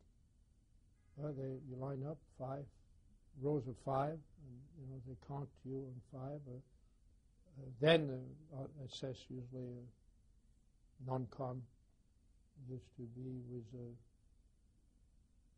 both the block Ältester, but also the LIGO Lago Ältester. Of course, in, Can- in, in Sachsenhausen, it took quite a while. I mean, there How was long did it take? many, many of them doing that. How long did it take? Uh, well, if they miscounted, it could be two hours, but if they did not. Um, I would say now, I, you know, it took a fair amount of time. When did you arrive at Sachsenhausen? What year was it? 19, early 1943. I don't know exactly, but it must have been end of January, end of February, sometime around there. And what were you wearing? When I arrived there, I was wearing whatever clothes I've had What happened for to the you? last four months. Well, when you arrive in the camp, as you most likely know, uh, first place, you didn't have your shoes already in a, in a, in a train. I shouldn't call that a train, cargo train. And uh, because they didn't want you to escape, obviously. So when you got into the camp, you know, you went, you, had to go and take a shower, but before you took the shower, you left your clothes. So you took a shower, and the other side, they gave you, uh, they issued you a, a striped uniform that you had been accustomed to. They had a summer one, and they had a winter one. They had different stripe, a little different color. Uh, what I, anyhow, many had uh, many patches. You know, you know, they faxed it, they pitch patched it, so you had many that were um, just patched. And uh, so that's what we had. And as uh, on our shoe, they gave us uh, things like rags, like handkerchief, were, our socks, if you want to call them that way. You know, you put them, in, and then uh, didn't give us shoes, but they gave us uh, wooden sole, wooden, you know, thick one, which they had nail uh, material so that you could put in, and that's uh, that's what we had. They had you know nails around the material. Now those shoes were not always beautifully. The soles were strong. They had one advantage: they were warmer than leather. based on that. Now, to work with that and walk with that, it is uh, difficult. Or if it's icy or anything like that, it's very slippery. Uh, it's not the ideal, especially if you carry heavy things. And what kind of commando were you assigned to? At Lichterfeld, No, in Sachsenhausen. in Sachsenhausen, I was, they were building something. That happened to me lots of them in other places also. Carrying brick and running cement. They give you, I think it's called in English, a hod or something, 42 bricks. And you, you know, you have stripe and you carry them. And heavy, I mean, especially as you, most people lose a lot of their strength and their weight. And that's, a, that's what, especially if you have to go up a wooden ladder in order to carry it up, which frequently, or mix cement, things of that type. That's what I did when I was in Sachsenhausen. I did not stay long, as I mentioned to you. How long did you stay? I don't think I stayed more than a couple of months altogether. And how would you describe your treatment there? Look, as long as you realize that you can't, you're not, you have no right to yourself or any decision, it's a difficult life. Uh, you get up an hour at least before uh, daybreak. Uh, just give you uh, that coffee, actually, I don't know, it was warm. And uh, supposed to get a slice of bread, which you did not, you got in the beginning, but the end was not always like that and then you, you, carry your schussel, your, your cup, you know. Usually you could tie it somewhere there, and you carry it with you because you were fed at lunch the same way. Uh, lunch, wherever you were, they brought those huge kessel, they call that, you know, big container for had in the army and canteen, and, uh, and it was mostly rutabagas. Sunday occasionally it was a potato, potato soup, but it was very liquid. You have to think really the SS himself wanted to keep the best part of it, so you got the juice, but you didn't get even rutabagas, and same way with potatoes. Um, and uh, and you really don't have much time to think. It's only when you come back from from uh, from camp that you have a little, if you want to say, called socialize. But And what kind of socializing as we you would do? say, uh, you can talk, but actually, usually you should talk about home. Was one of the favorite topics, I guess, because you saw nothing, you heard nothing, so you could only mention that you didn't have time. You're so tired. You don't feel like doing much, so and could could go to bed earlier. And if you had a couple of hours leeway, uh, which in the winter you didn't even have that. In the summer, sometimes you did because it's daylight longer. So um, our conversation was mostly talk about your past and you did. I mean, it was not, uh, it wasn't much philosophical talk. Where were the other prisoners from? Where French was a great minority. Most of the prisoners came from Central Europe, Poland, Ukraine, um, some Czechs. No, I remember Hungarian. Some eventually later on from the Baltic. Um, try to think. Eventually, it was some Scandinavia, but they were kept separately. They, they didn't have the uniform. They were Aryan, so their treatment was very different. But that was not in the very beginning. It wasn't What contact did you have with any gypsies? uh, daily. There was lots of gypsies. I forgot to say that. As you know, we all had our number. What was your number? My number in, in Sachsenhausen, I think, was six, 64, 448. I wouldn't bet on that. In the other camps, I don't know. I don't remember at all. Um, it was a, what the Jews had a Star David, uh, political deportee, which really comprised a lot of things. Uh, a red triangle, gypsy had a black, the conscientious objector had a violet, something like that. Um, I thought it's a majority thing. It might be another thing or two, but I right now it doesn't come to my mind. And uh, and I lost the track. what I'm talking about, uh, yeah, the, yeah, where they came from. Uh, some German, which had been there a long time, politically, let's say, a hardened criminal or political enemy. When you arrived there, what was the condition of the prisoners who were there be- previously, who arrived before you did? Well, everybody was thin, of course. Uh, very thin. But it was not as bad as it was two years later. I mean, it was, as, as it was, as the German were losing and all that, I mean, it becomes,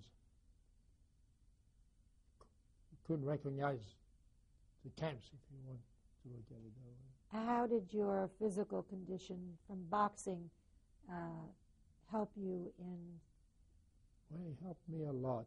Uh, you know, I said I didn't stay in Sachsenhausen long enough to really know too much, but I was sent to Lichterfeld, which I described, I think, in the last session. Go ahead and describe it again. Well, Yeah. it was a smaller camp. Uh, I told you four barracks. It might have been six barracks, and still the same setup with a kitchen in the middle. And where was that? Each barracks, as you know, in the center, I think I explained that, had uh, uh, uh, restrooms could wash, and you're supposed to wash every Where was. Lichterfeld? That's in all the camps it was like that. But in, in uh, Lichterfeld was the same way in a smaller version. Where was that camp? That camp was uh, alongside the canal in Berlin. I think it's only one canal, at least that's what I think. It was not too far from. Uh, think it wasn't too far from the factory I worked at. We used to be there on trucks, but Spinnstoff Fabrik Zehlendorf, which was a very large factory. I spent lots of time, and uh, I believe that it was in that area. I don't think it was that far from Tempelhof Airport either. Obviously, you know, we couldn't roam at our will, so we didn't have much chance to really know. I remember the gates and all the things that we passed by in the truck, where the trucks were sometime open, especially in the winter. sometime, sometime closed. So you know, What civilian population saw you in those trucks? And what was their reaction? didn't have contact with them. I couldn't see. You know, they saw us come, and relatively, from what I gathered later, we were in better appearance than people that were in the main camp, especially as time went on, because we were people could see us, and I guess that was better. And I was lucky in that camp. of One thing, talking about physical condition, the kitchen were staffed and run by mostly German or German sympathizer, uh, which they had in certain country.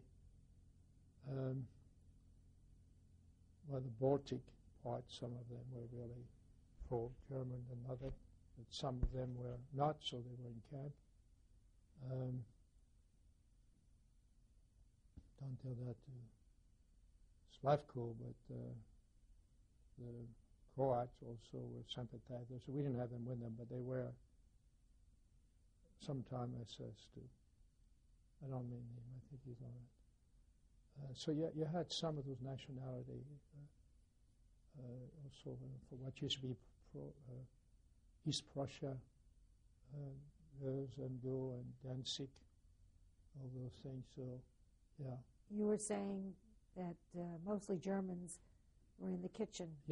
I mean, tho- you know, So what? anyhow. so what was your job? So I came from commando once working, and those early, I guess, the the guys were, those guys in the kitchen were boxing on the side. Had gloves, you know, I mean, they, they, they live separately. And they had privilege that we obviously didn't have. So I stopped, and I could say could speak German somewhat, and I forgot. And I challenged the one that won. Now, I wasn't exactly in the greatest shape by then, also. By pure luck, I knocked him out right away. So SS non-com, name was Seifert. Told me, Französisch, work in the kitchen. And you're going to live with them, you know. So I, I, I moved, I moved, I need to move. But, so I was in the kitchen about three months. And what was your duty in the kitchen? Well, I peeled the potatoes at time, even so other guys came to do that also. I carry, I put things in a vegetable and stuff in, in it. I cut this. Uh, I, uh, I carried those, what do you call those things? You know, two handle. And, uh, okay, and uh, and whatever they was told to do. I wasn't food much much better, and it really helped me a lot. I gained weight again and all that stuff. And uh, this was toward the end there. As I mentioned to you, I must have stayed there 10 months to a year. And that's near the end, so I was there maybe two months in the kitchen, two and a half months. And they used on Sunday afternoon, they were the punishment administered to whoever didn't do what they were supposed to do. And usually it was 25 slash. And, uh, and one, one man had that privilege to be, he was part of the authority, you know, camp like me. And I don't know why he didn't show up, was or whatever it was, I don't know. So that non-com Seifert tell me, Französisch, you do it. Well, I said no. And luckily, I didn't have to have the treatment. But I was transferred shortly after that. And then I was transferred to Gamme, as I mentioned. So how long did you stay in Lichterfeld? I would say between 10 months and a year. I, I don't remember exactly. And when did you go to Neuengamme? Well, if I arrive in Sachsenhausen in February, say, uh, 40, three. I must have gone to Neuengamme in, say, say, in the beginning of 44. And how did they transport you there? Uh, train. How many? We, we walked quite a bit, but then train. And we walked again the, uh, the other side, yeah, at the end. How many uh, prisoners were with you in Neuengamme? Oh, Neuengamme is a big camp. They call it Hamburg also now. Um, I don't know, 10,000? I mean, lots of people. It looks as big as. a- Tell as me your first impressions when you arrived there. Uh, first place there was a couple of barracks of Jews there, including some French Jews. I was remember uh, I was very cautious not. We worked together at the time. I was very cautious not to be too friendly. You don't have much time to be friendly, but you know, because I figure, well, I needed someone that I know, or, you know, I was afraid of it. Um, I did mostly everywhere we at time unloaded ship, you know, carrying bags and things like that. At time I uh, unloaded coal cars, you know, that was big uh, shows, uh, uh, coal shovel, I guess, um, and put in in trucks. Um, also, what time they're building another bunker, similar one. So carried break again and she met again. Hamburg already had been damaged a lot at time after bombardment. We cleaned the street and put it in trucks, you know, and things like that. And it was, oh, uh, also uh, had an airport around there. Also had been bombed. Same thing that I had near New York. And uh, we had to, the bomber didn't explode. We had to take the dirt out and soil out did that for a while because it was bombed you know, pretty pretty often by then. Uh, that's mostly the kind of did I think I did in in, uh, in Hamburg, Neuengamme. So, what was your first impression of that camp when you arrived? Well, I recognize I didn't come to. I came to a camp worse than the one I was in Lichterfeld. And, uh, you know, it didn't take me long to realize. I f- don't forget, I was already around for more than a year, so it's not like it was new to me. What were the sanitary conditions there? There had changed a lot already. It wasn't as bad as it got a little later on, but they already had more people. The camps were made, say, for 10,000 people. I, I don't know exactly, but it probably already was a third more than it should have been. And eventually it got to be three times more than it should be, and that's the condition got worse and worse. And who was in charge of you there? Uh, I don't remember. I mean, at, at that camp? No, I, you know, I, I don't remember. Uh, I don't know. I only stayed there also two or three months, and then I went. I was sent to dig those ditches, uh, anti-tank ditches, is it? To uh, at the uh, actually at the Holland border. This time, trying to stop the Allies, supposedly. You mentioned a little while ago that there, this German's job was to make you feel that you were nothing. Yeah. How did he accomplish that?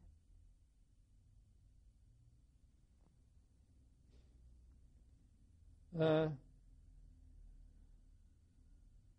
by saying that it in a very vulgar and, and, and term, and, uh, and, and then he made you do things that show you that you had to do what he wanted you to do, whatever it is. He told you to, to, to lay down or in the water or get up, and you had to do it, otherwise he beat you up. In your recollection, what is the worst thing that he made you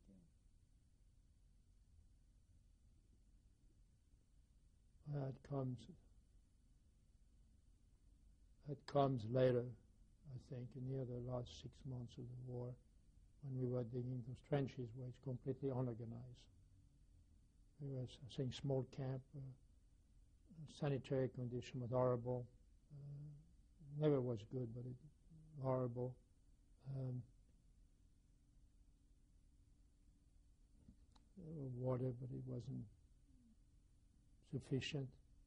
Uh, there was no really toilet. We used to dig holes and put boards and uh,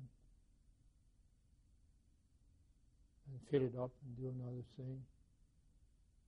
We all had lice for several months. Uh, we didn't really didn't shower or anything. We didn't have any soap. That's true for last year anywhere. And never the soap we had in any of the camps was really not a soapy soap. It really was just sand that seems to stick to stick together, but you didn't you didn't clean. Uh, but those camps at the end, we have no sanitary condition.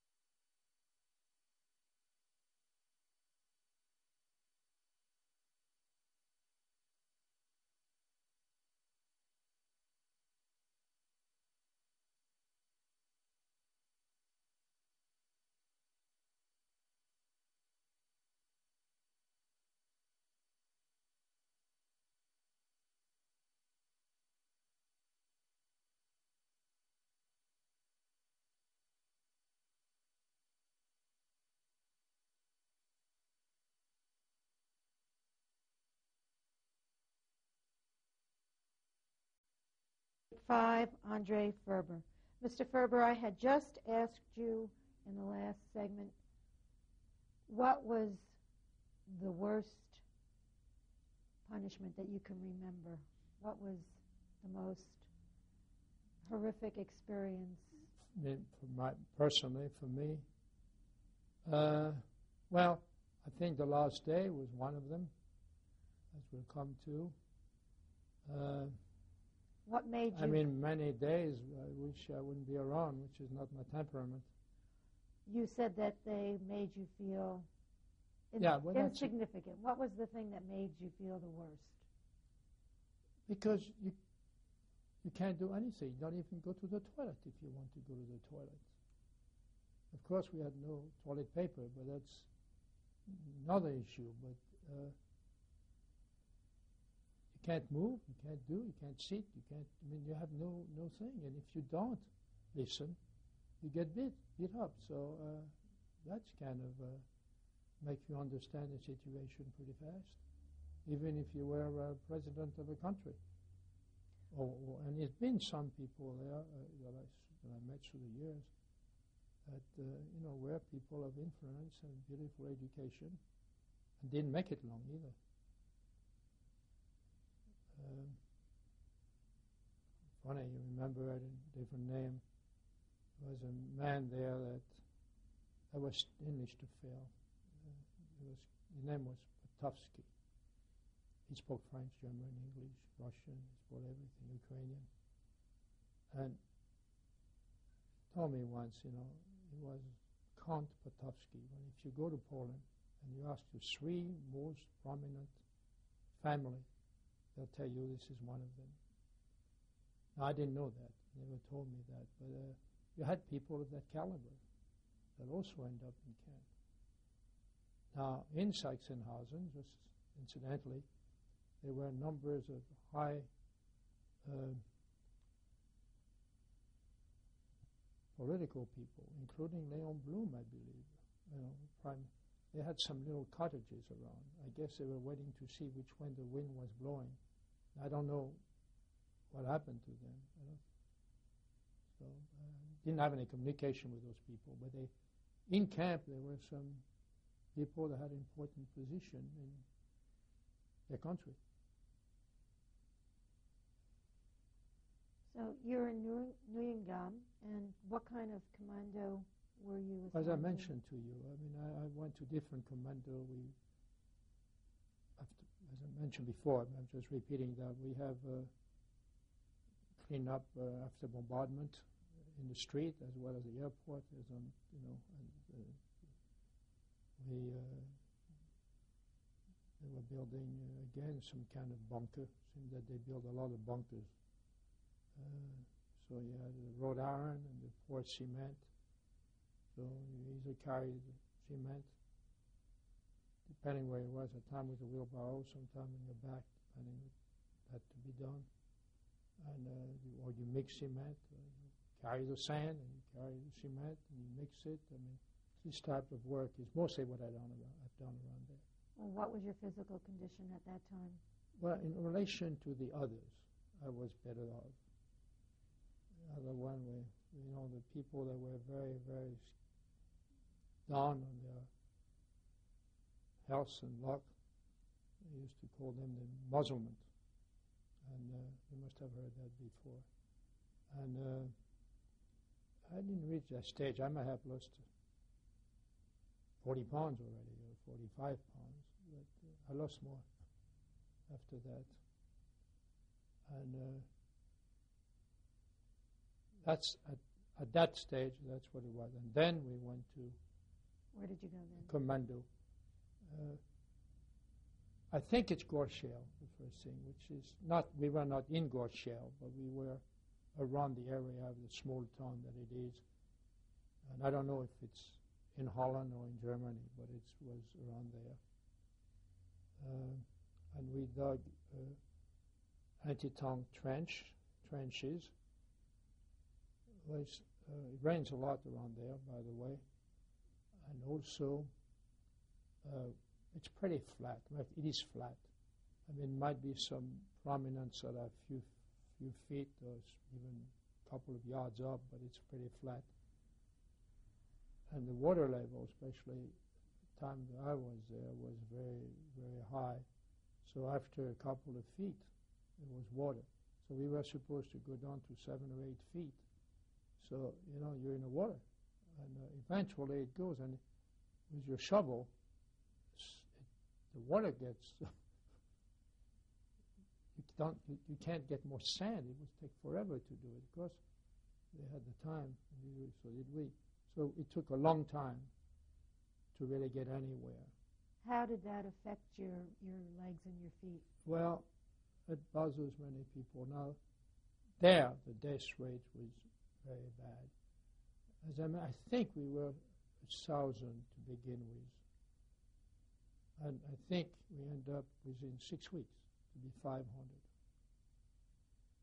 Uh, people really died a lot. I mean, was, food was practically non-existent, you know, not, nothing substantial. And what did they do with the dead bodies? Well, we made holes near the little camp where we leave the barracks, and we undressed them, and we just put them in a hole, and uh, put some lime and uh, covered up, and uh, we did that every Sunday. You know, we brought them back from camp. You had to carry them. Carried whoever, you know, we were told to carry. It wasn't a volunteer type of thing. And that was uh, about the worst part of the whole camp in that sense. What kind of barracks were you living in at that time? Being the barracks that apparently had been by workers had been in there. I don't, you know, I don't know. It was empty when we got there. Uh, it was in very poor condition. Of course, no heat or anything like that. And what time? But that's not new. What time of the year was that? Um,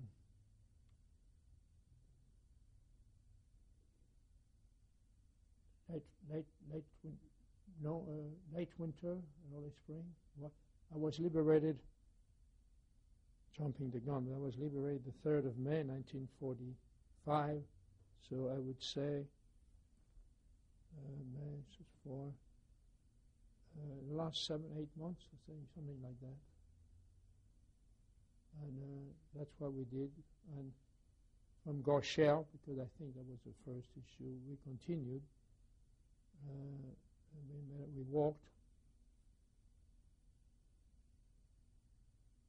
uh, to Emden, or whatever the other place. They brought in another 500 men, and we continued the same thing. How far was it from Gorshel to Emden? How long did it take you to get from one camp to the next? Two days, I think. I remember that because we slept completely outside. It was pouring rain, and we had they put us into they enter us into some. It must have been a soccer st- stadium or something. So they put us there, and we stayed there until morning. What kind of shelter was there for No you? shelter. No, we were soaking wet. You said it was probably winter. How cold was it? It was very cold. That's why I remember. It was very cold. You know, it was soaking wet. And uh, not many many men didn't didn't make it either. I think we carried. As a matter of fact,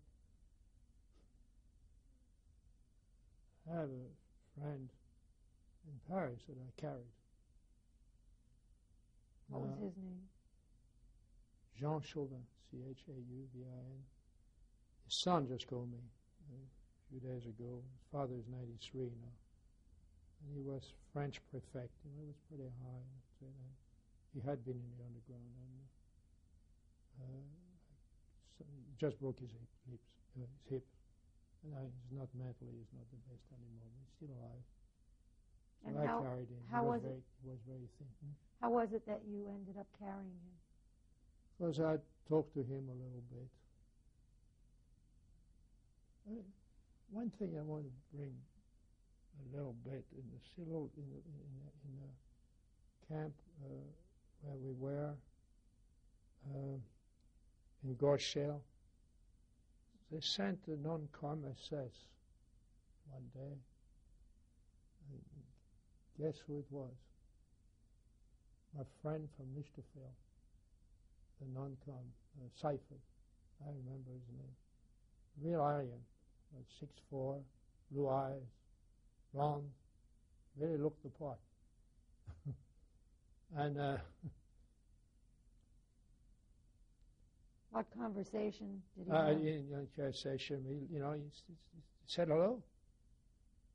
He said hello to me, and, uh, which amazed me, you know. And uh, as we were, I, I forgot that incident. As, as this, I'm going back a little bit, not too much, two or three months. As I, as I um, coming into camp, the, the man that was uh, Lagerältester, I don't know what he had against me. He always made my life miserable.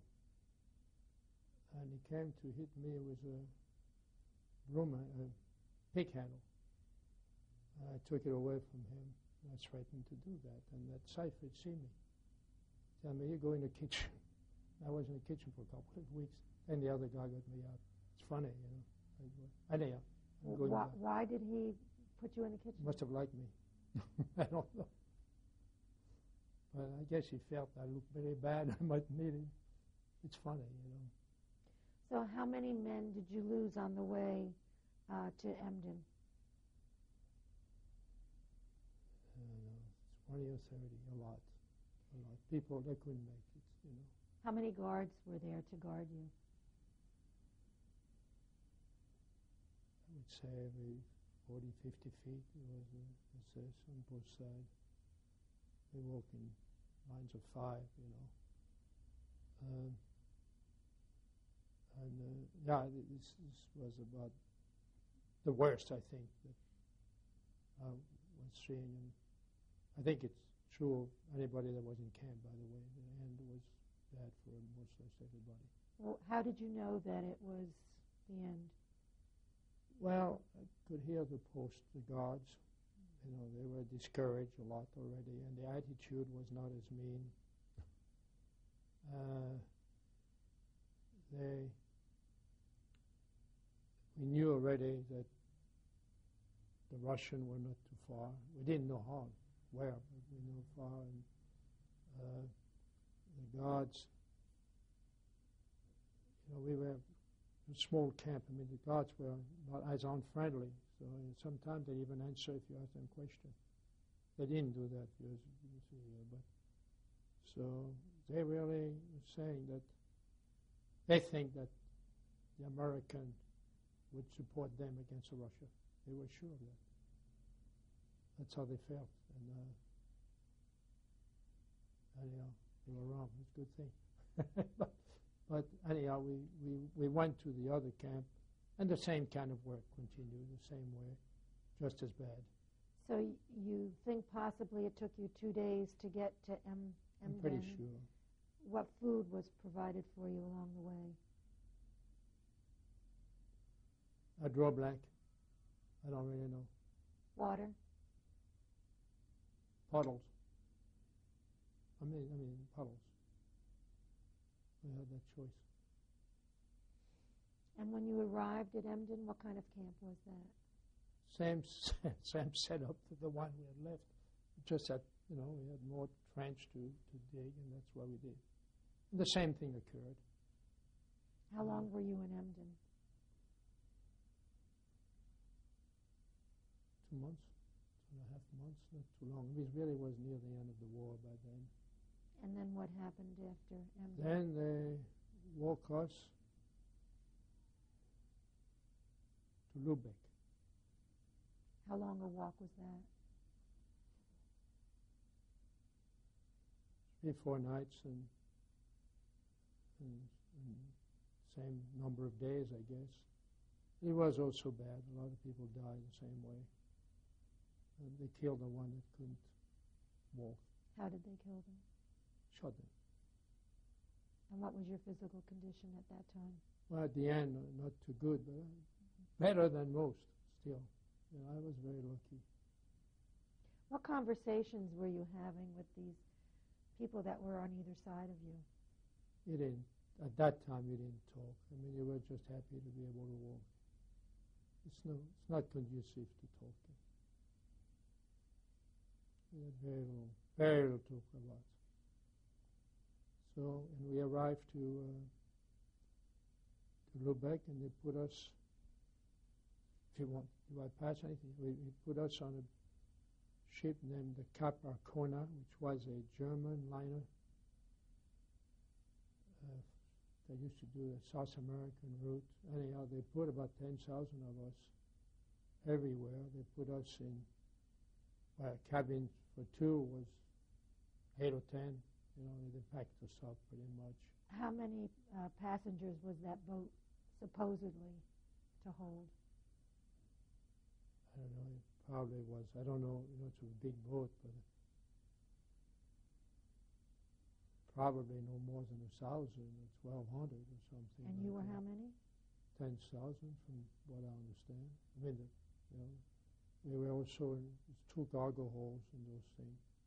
So I ended up in a cargo hole from the cabin eventually. I don't know why they moved us, but Again, what what time of the year was this? uh, well, this was uh, around the beginning of April, somewhere between the fifth or the tenth, something like that. How, 1945. you said you were in a cargo hold. What kind of ventilation was there down there? They were uh, you go in a cargo hold first was on eight or ten feet. You have most of them are like that. You have a balcony that goes around, and then it's a ladder that go up and down all together. Uh, how many of us went down? How much ventilation did you have to breathe? Well, you have the open. They don't close it. They didn't close it, so you had an open place, and the guards were on the balcony. Um, well, it was cold. It wasn't, you know, it wasn't warm. Uh, at the bottom, you had uh, you had bottom, and then you had boards, not solid boards, you know, that that uh, that so that you have was some water at the bottom,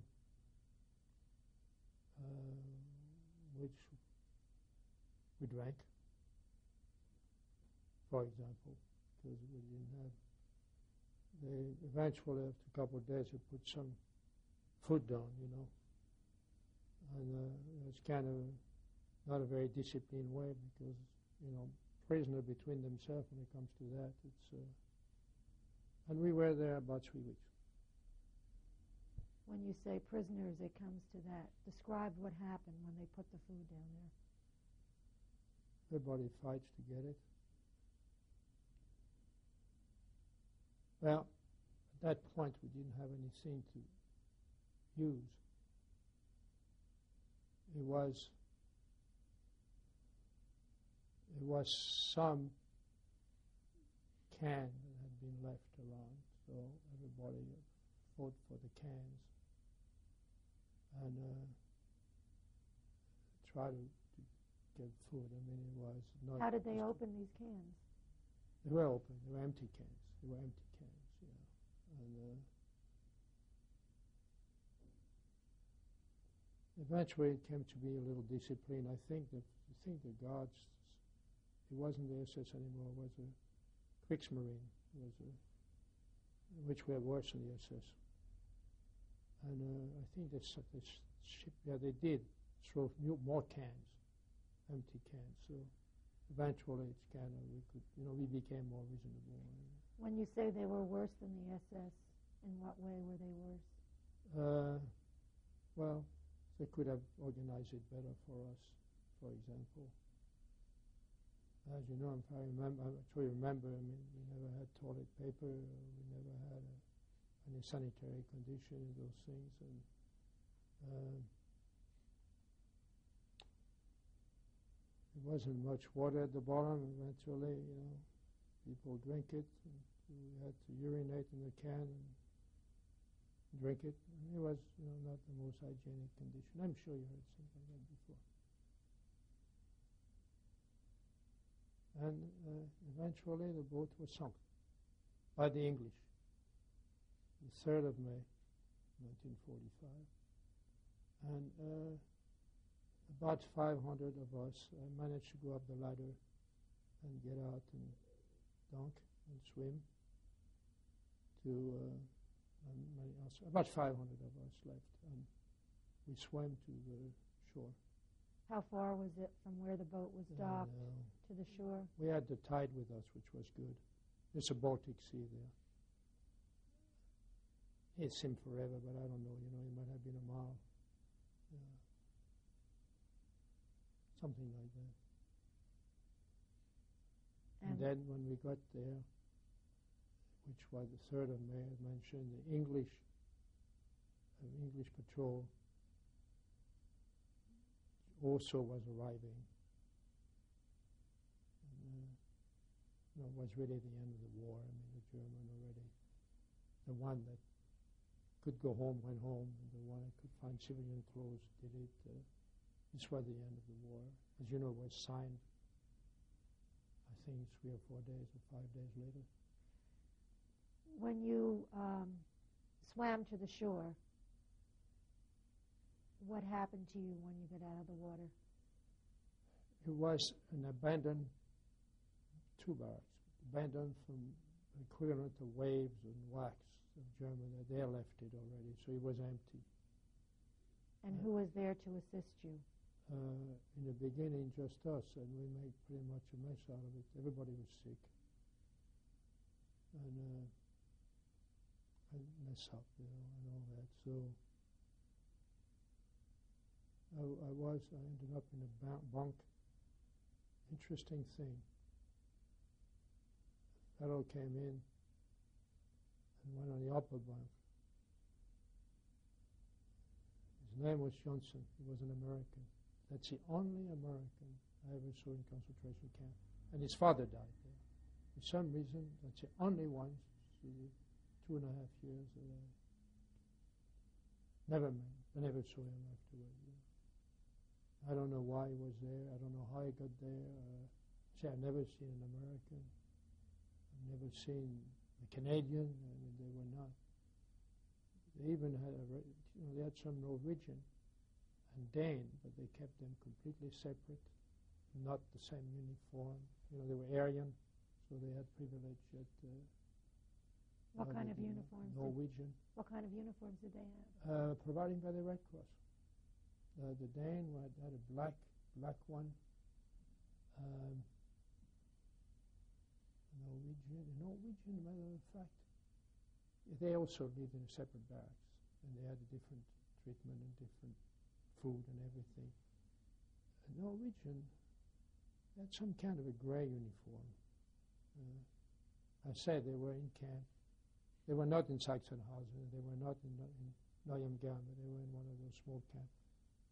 Uh, they, most of them were really skilled for something, electricians or whatever they did. They were specialists. So then, how long did you stay in this? Uh, Camp? uh, well, I don't think it was a camp. Well, no, it was not a camp. I mean, those barracks. I'll give you my. See. The English said that they were going to quarantine us and they didn't want us to go out that night. And um, so s- three guys, Russian or Ukrainian, whatever they were, Ukrainian mostly. It wasn't too many Russian. It was more Ukrainian and others. Uh, Russian, if ever they they couldn't win. I mean, the Russian government, as you know, was no no chance. I mean, if you didn't go forward, they got rid of their own. And uh, that, uh, my. I, I asked how long were you in those barracks, and you Um, started talking about the English. I left with those three guys because I didn't see myself staying in quarantine for another three weeks or whatever it takes. And uh, I'm not a troublemaker, but they were. They got into people's house, and, and uh, English came, you know, police, military police. They took them someplace, and they took me, and they, they drove me right back to Lubeck, which was, I don't know, an hour's drive, an hour and a half's drive, no more. And then, there, this is where a lot of people like me and a lot of civilian displaced people were, lots of them, living in factory with some straw around, even women with children and all that. And you say you were sick when you arrived on the on the Yeah. shore. Yeah. How long did it I'm take you? sure it- Well, seems to me I didn't have much in my stomach anyhow, so it didn't last long. By the next day I was already better. And where were you able to obtain food? Not but when when I got to Lubeck, yes, I could get everything I want. I even tried to eat potted eggs. Tried, you see, you can't do. Uh, you know, anyhow, it didn't take me long to learn. But I'm saying, yeah, yeah, I was on. It was also packages already, believe it or not, from the Quakers. And who distributed those? Uh, already committees had been organized.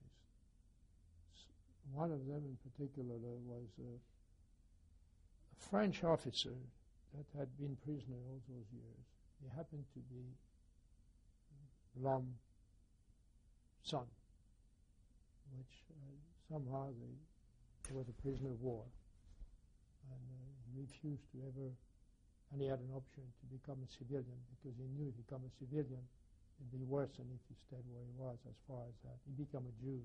This way he was, I guess his position uh, with his father, I think, is the reason why he was still around. And uh, in fact, he asked me to stay there uh, to help him. Uh, I wasn't ready to do that. And I didn't know him, but it's just the way it was. And um, I stayed there um, three weeks. In the Lubeck. factory on the In floor Lubeck. in Lubeck. And uh, forget how I managed, but an American plane drove, flew me from Lubeck to uh, Brussels. And that's one of the cards I have. This is where I got it. And then from Brussels, I took a train to Paris. And this was all organized by By, the French government by then. How was it for you going back to Paris, having long? left? How was it for you going back to Paris, having left under the conditions that you did? Great. That's all I can say. I mean, you, know, you can't say more. It's like I got there very early in the morning, and the only I didn't have any money, of course, and I those three guys I was with had stolen a suit from me. Who were these? it came, it came, it came to me. it came to me. Who were these three guys again They were, they were Ukrainian or something like that. that were on the ship with you? Yeah. Actually, I, I, I, yes, I would think so, but I'm sorry, I never met him before. Just a fact, that we all, I had an idea, and, well, they had an idea. I figured I'd follow them instead of staying another three weeks like that. And, uh, so that's how I came. And most people took them a couple of months to go back. And how long did you remain in Paris? I remained in Paris uh, from the 1st of June 1945 to the 20th of August. And then I, you know, I tried to get my papers and all. I went to the French government. I, the armed forces actually ran this thing at that time. And uh, they made the arrangement for me and uh, and I left and I came onto the British ship. It was coming back empty, merchant marine, and I took I think four or five passengers, including two war bride that I married an American soldier. And after two weeks, I ended up in Brooklyn Navy Yard.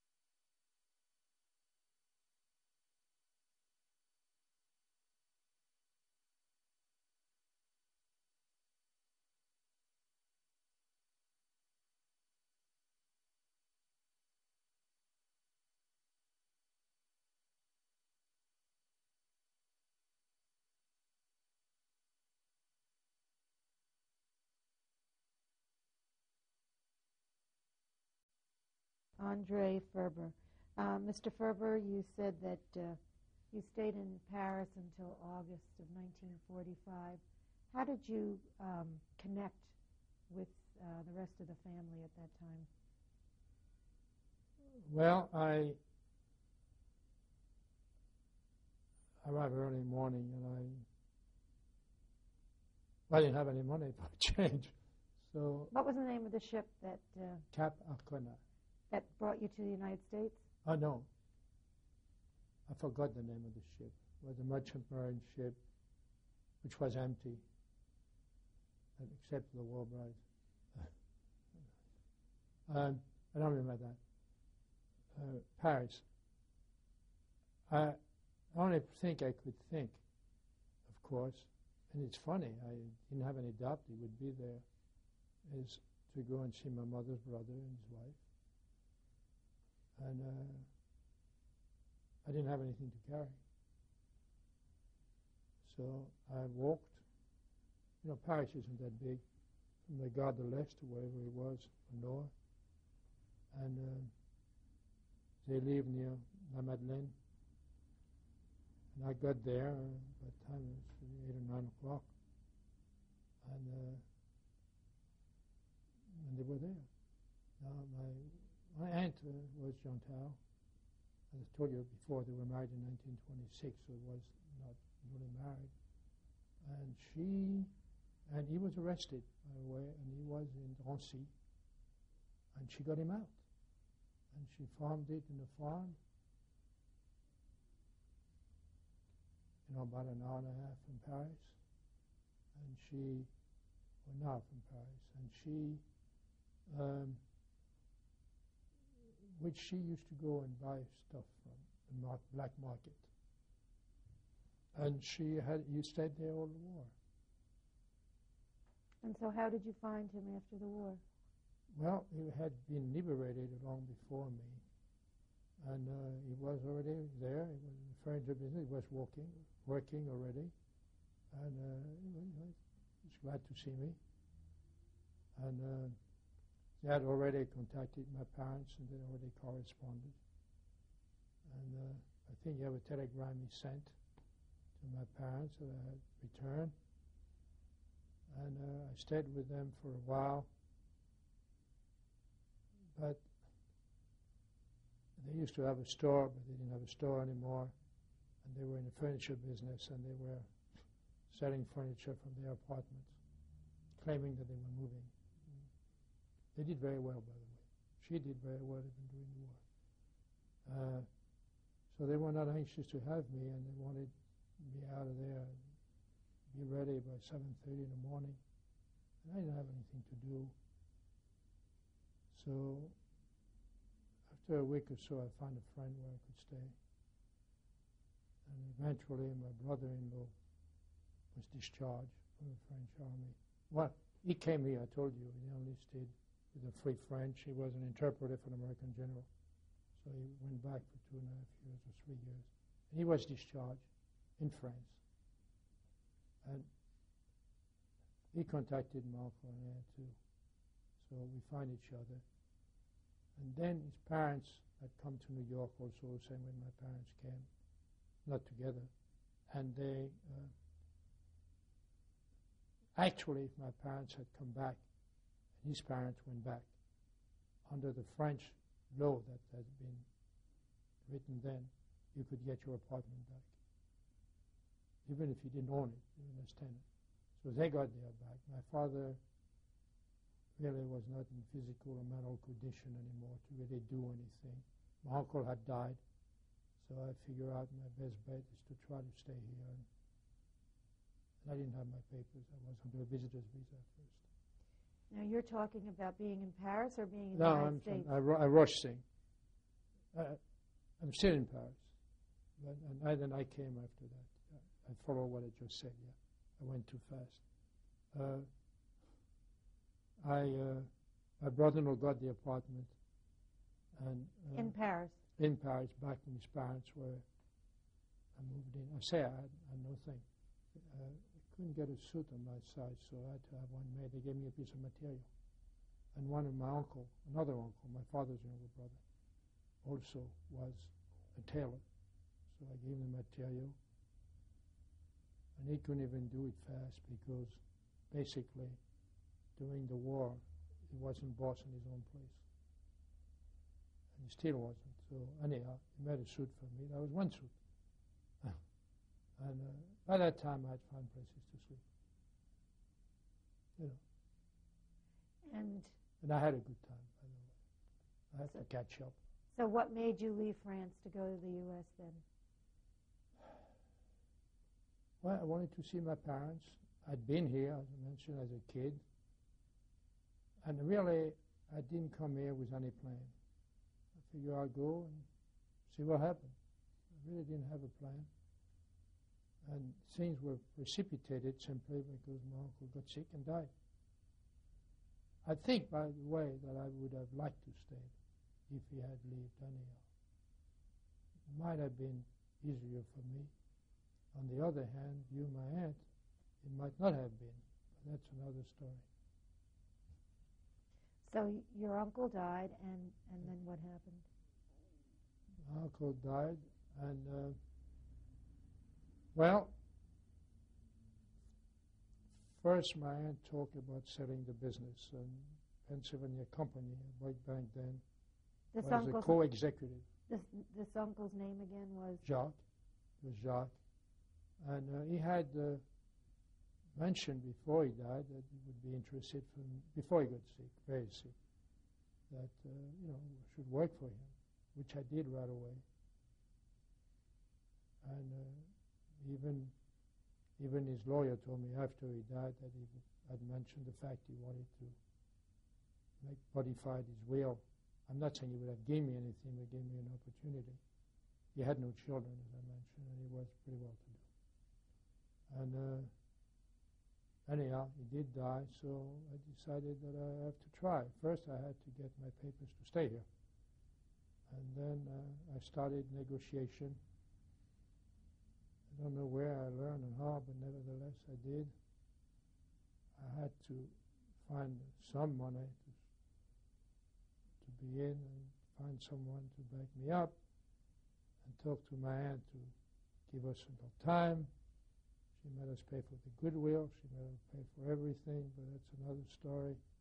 And all is well that ends well. It did happen. It did work. and the name of the business. The name of the business still the same, Jacques Ferber Furs. Even so, we should change the fur because we sell coat, we sell leather, we sell novelties, we sell handbags. We are more diversified in the last 10 years or so. Maybe we should drop that. We have, we, have, we need a public to help us. Maybe we should drop first. And how long has that business been in the location? Since 1927, which is what 73 years or something like that. We we painted it over once in a while. And um, exactly how old were you at the time that you emigrated to the U.S.? Well, I came here, as I mentioned, September the 3rd, 19, 5th, 1945, and uh, three weeks later I was 25. And so you're a young man at this time. Um, I think so. where did you meet your present wife? I met her on the beach in Atlantic City. But we were properly introduced. I want to make sure that I say that, that when she hears me. Her name is, her name is Ruth and her maiden name? Sures, S-U-R-E-S. And where was she born? She was born in Washington, D.C. I'm not going to ask you her age, but when were you married? We were married the 23rd of March, 1946. And can you tell me something about her? Well, Ruth was an honor student, and she graduated in practiced law in the beginning, and I was one, one of her uh, clients. I'm joking, but um, I may say so, that we have and had a wonderful life together. Uh, we're still very much in love, in a true sense, and respect to each other. And nobody is a boss. That's what I say. Um, and we still enjoy each other and doing things, and we, we spend lots of time together. As a matter of fact, she stopped practicing law when the kids starting to, you know, to come and all that. She didn't want to take the time. Uh, she worked. She had few clients, which she was part time, and eventually she wanted an office in town. I said, "Why don't you have it?" We had a available space then, and uh, she did that. And little by little, she helped me, and uh, eventually she became my partner and my boss. And um, I have nothing to say except that I've been very fortunate to be married to her. I hope it's the same for her. And 54 years is a, reasonable amount of time. Tell me about your children, Mr. Ferber. They're perfect. We have three children. Name? The older one is Jacques. He's a lawyer. He has an MBA. He's a CPA. He doesn't practice. I have one of those. He's very socially minded, and he's uh, executive director of a non-profit, which really is to help people that need help, even homeless. It's a program really called uh, Come Back to Me. I, I know the abbreviation, but I want to say the whole thing. But anyhow, the program is they provide lodgement. They have about 80 or 90 unit now houses and apartment. Uh, they, under Title 8, people give a certain amount of that money to his organization. They have social workers. And the program is they counsel the people. They have to clean, keep the apartment clean. You might not believe it, but they don't even know that. Um, so they have the right to visit the apartment regularly. They have to notify the tenant. They also help them to get a training program for whatever they like or able to do. Money goes to community college toward a degree or toward some kind of skill or nursing, assistant nurse, and many other fields. Some eventually even get graduate degree, not many. If they don't really uh, do the thing that are part of the program every, after two years or show any uh, uh, desire to, to, to change and help themselves, then they, kick, they get them out. And they can. I mean, they have more facility than if you were just a regular apartment owner. And they are growing, and he's very dedicated to that. And uh, I don't think you want to know exactly what he thinks, but I mean, it's many things that he would change in the program if he could. And it's very funny. There was an article in the paper on it yesterday or the day before about the fact that $350 million was spent in North Philadelphia to practically no avail. And if they had listened to him, they would have not had that problem. And your second son's name? Uh, he has a nice, nice name. He's an Andre Jr. When was Jacques born? What year? 1951. And Andre? Uh, three and a half years later. And uh, Ken, no, no, not three and a half years later, but two years later. And Ken, three years later. But from Jacques to Ken, it's five years, I know that much. and uh, Andre and Ken are in what? Uh. Andre and Ken uh, went to college. They both get business degree, and they both became furriers. By that I mean they know how to make a coat and pattern, and very well, if I may brag. Uh, and they actually run our business. And I say more, they actually own our business as well. Uh, in fact, they threaten to charge us to come and visit them every day. And uh, are um, your three boys? Um, what is their marital position? Well, Jacques, the older one, is married, I believe, was in a short time, be 25 years. His wife's name? His wife's name is Diane. And how many children do they have? They have? two sons, one's 12, one's 10. And their grandchildren's name? They have unusual name. It's the oldest son, the older grandson, his name is Jacques too. His name, we call him Jake, but he's Jacques. And the and other the other one is Benjamin. And, And I um, remember their name. Andre's wife's name? Andre's wife is uh, Joyce. And they have how many children? They have two children. They have a girl that I believe she, she, she at the end she'll be 16 very shortly. She's 15, And her name? and her name is Joyce. No, her name is uh, Kate, and uh, the son is Daniel. And Ken's wife, what's her name? Pam. And how many children do they have? They have four children, four girls.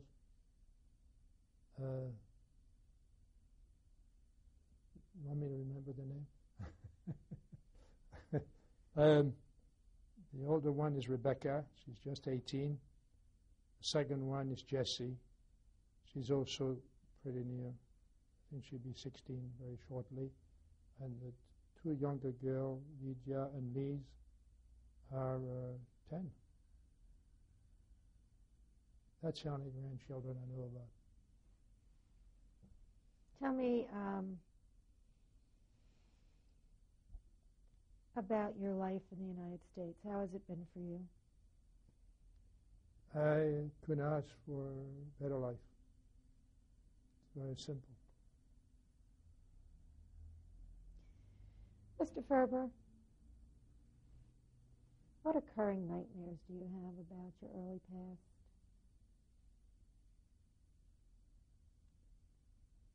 I don't have nightmares. I mean, I have thoughts. It's been so long. Uh, I don't know.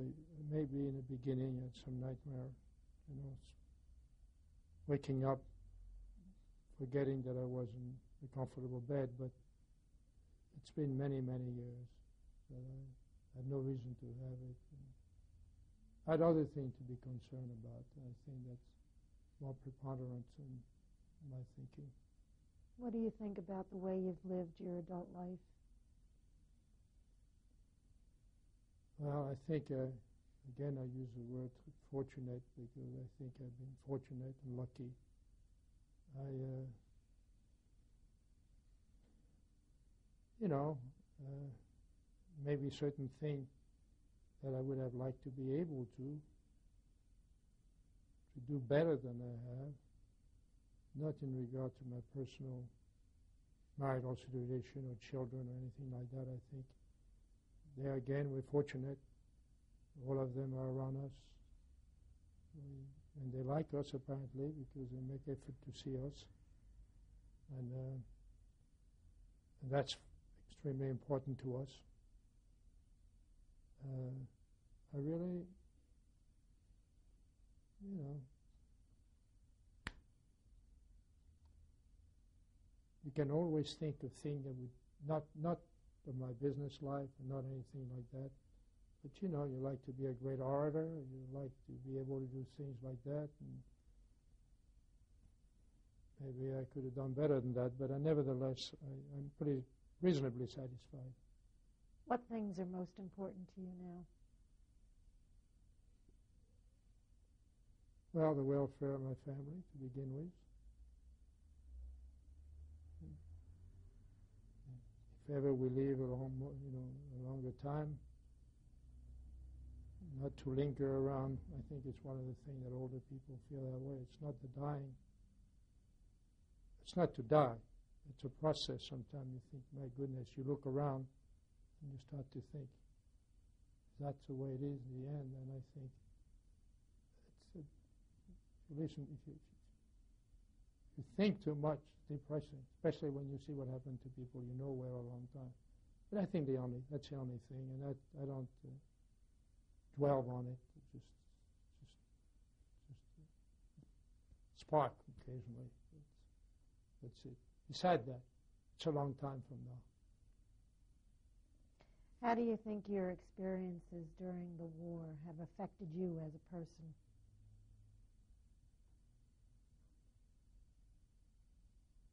I can't evaluate that. I really can't. Has it changed me? I don't know. It must have changed me somehow. I mean, the responsibility. And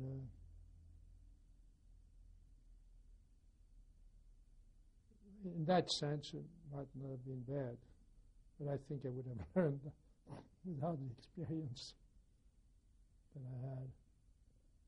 So I don't. I think it's, it's hard to determine. How was your faith in God affected?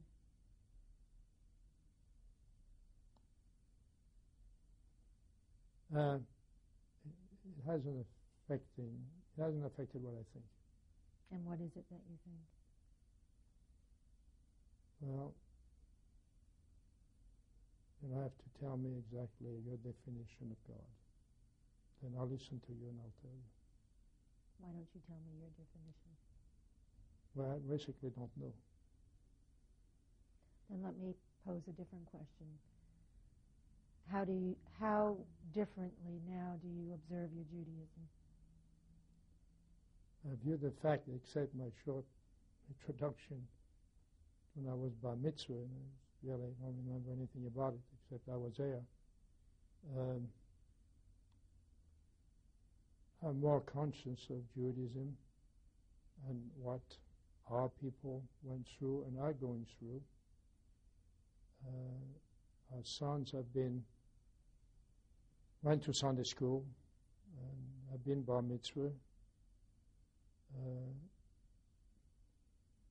our older son doesn't. His wife is not Jewish, and she told son, you know, if you want to raise your son Jewish, you go right ahead.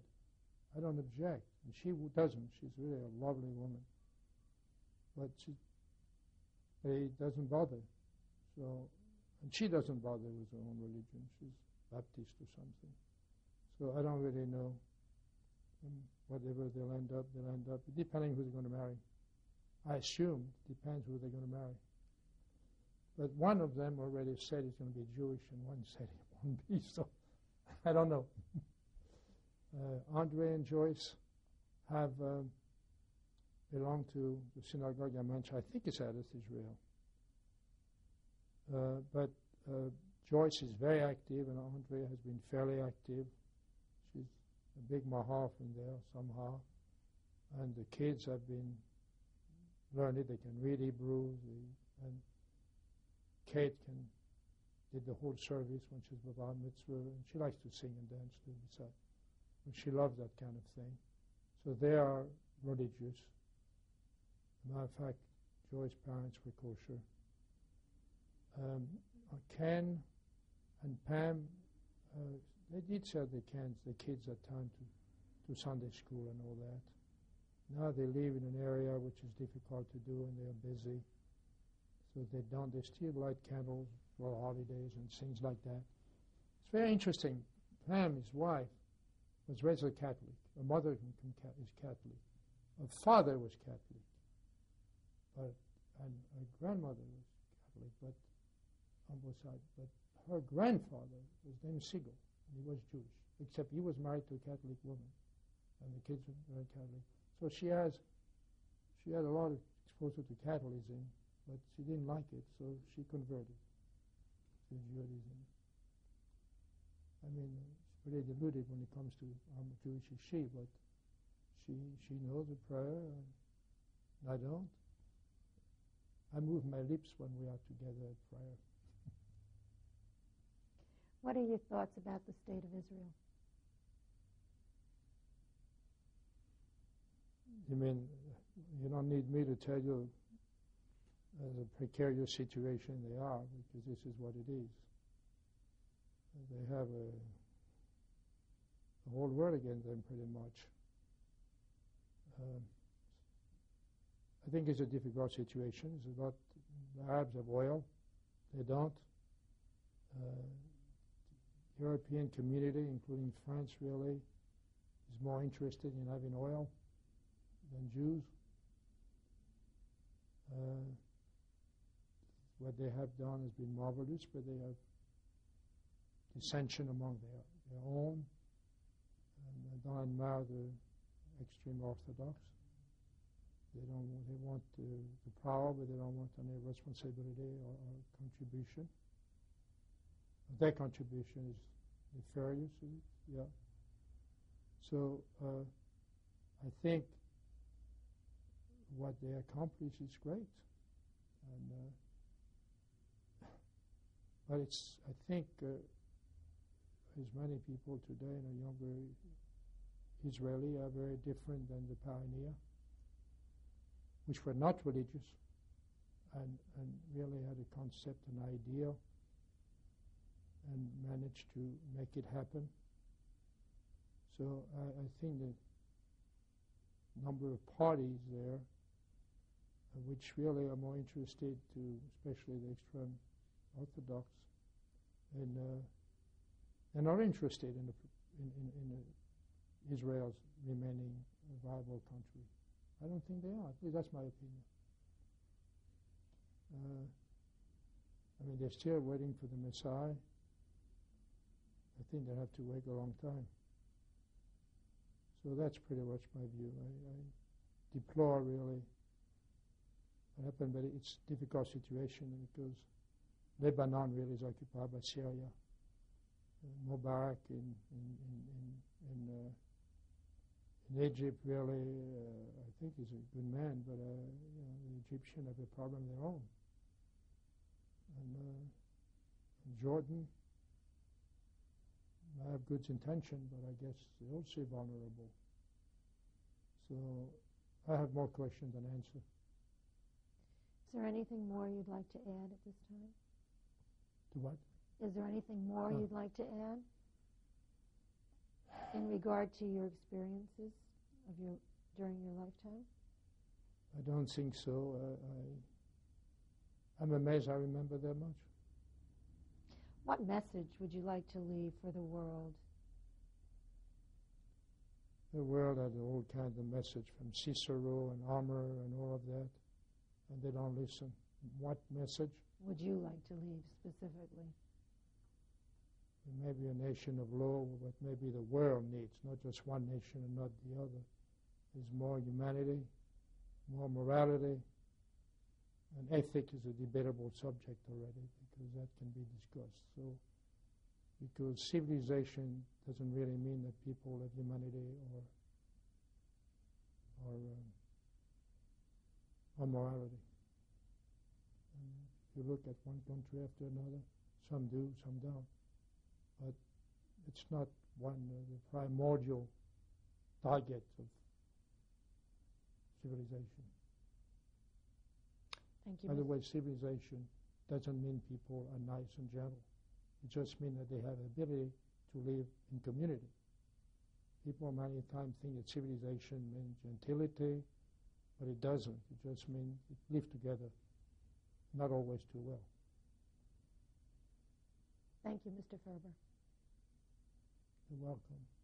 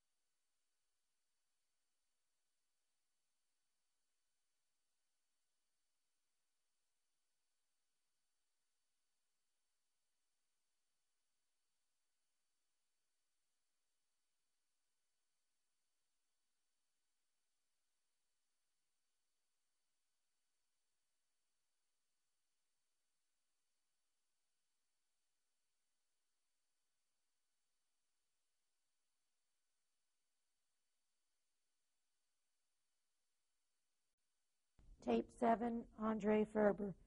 Mr. Ferber, can you tell me who this picture is of? It is my maternal grandmother. She was born, I believe, in 1860. Her name? Her name is Matilda Horn. That's her married name.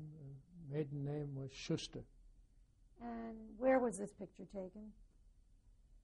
Uh, actually, I don't remember, but it's obviously we were somewhere in vacation, but it was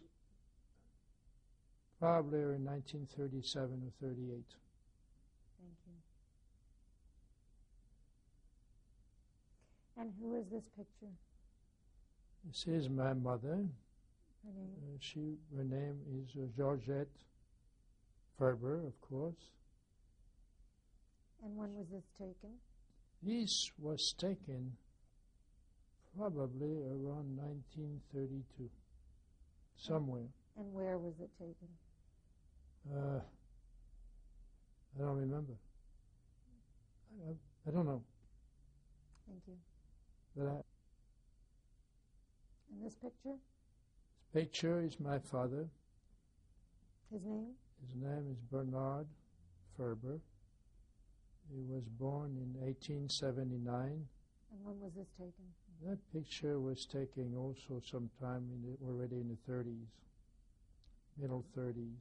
And where was it taken? Pretty sure was taken in Paris. Thank you. And this picture? Who are these people? Well, the tallest young lady is my mother. Her name again? Her name is Georgette. And the, the younger sister, her name is Yvonne. This was uh, taken in Paris at a studio uh, somewhere around 1904. I wasn't there. Thank you. And this picture, Mr. Ferber? This picture is young lady is my sister. And the other picture is, was me. And this was taken in uh, 1923. And where was this taken? Uh, Paris, uh, I'm pretty sure. And your sister's name again? My sister's name, of course, is Raymonde. And her married name? Wow. W E I L L. Thank you. And this picture? Well, it's the same two individual, just uh, seven years later. Uh, my sister, of course, is now a young lady. I'm not quite an old man either. And where was this taken? Paris. Thank you. Give me that. And this picture? Two of my favorite men. The gentleman on the right is my father. The one on the left is my uncle Jacques. Uh, this is taking uh, around the middle 30s. And your father's first name again? Bernard, and my uncle is Jacques. And where was this taken? He was taking in the summer at a vacation. I would think he was taking at a spa that my father went for many years, every year in uh, Aix-les-Bains, which is in Savoie. Thank you. And this picture, Mr. Ferber? Well, it's a picture, picture of me uh, somewhere during the war in 1942 uh, in a pugilistic pose. What was the occasion that the picture was taken? Well, I boxed an amateur and we needed a picture for a sport newspaper, and uh, so I posed for photography. I tried to look mean. I don't know if I was able to portray that. Thank you. And this picture, Mr. Ferber? Well, this is a picture of me, uh, different uh, months probably, but it's really pretty much the same period, which is somewhere in 1942. And the occasion of this picture? Uh, probably for the same reason. That's the only time I ever had a picture taken. Thank you. And this picture? Well, I don't think I have to identify which one is which. But the woman is my wife, and it was taken in uh, 1946, in March 46, uh, sometime around the area we were married. And where was this taken? And it was taken in Washington, D.C., where my wife is from. And her full name? Her full name is Ruth Cerise Ferber. Thank you. Mr. Ferber, can you tell me about this family picture? If you'll start at the top left and tell me who these people are. Uh, Diane, Ken, Lydia, Pam, Joyce, Jacques, Rebecca, myself, Ruth, Andre Jr., Jake, Daniel, Benjamin, Elizabeth,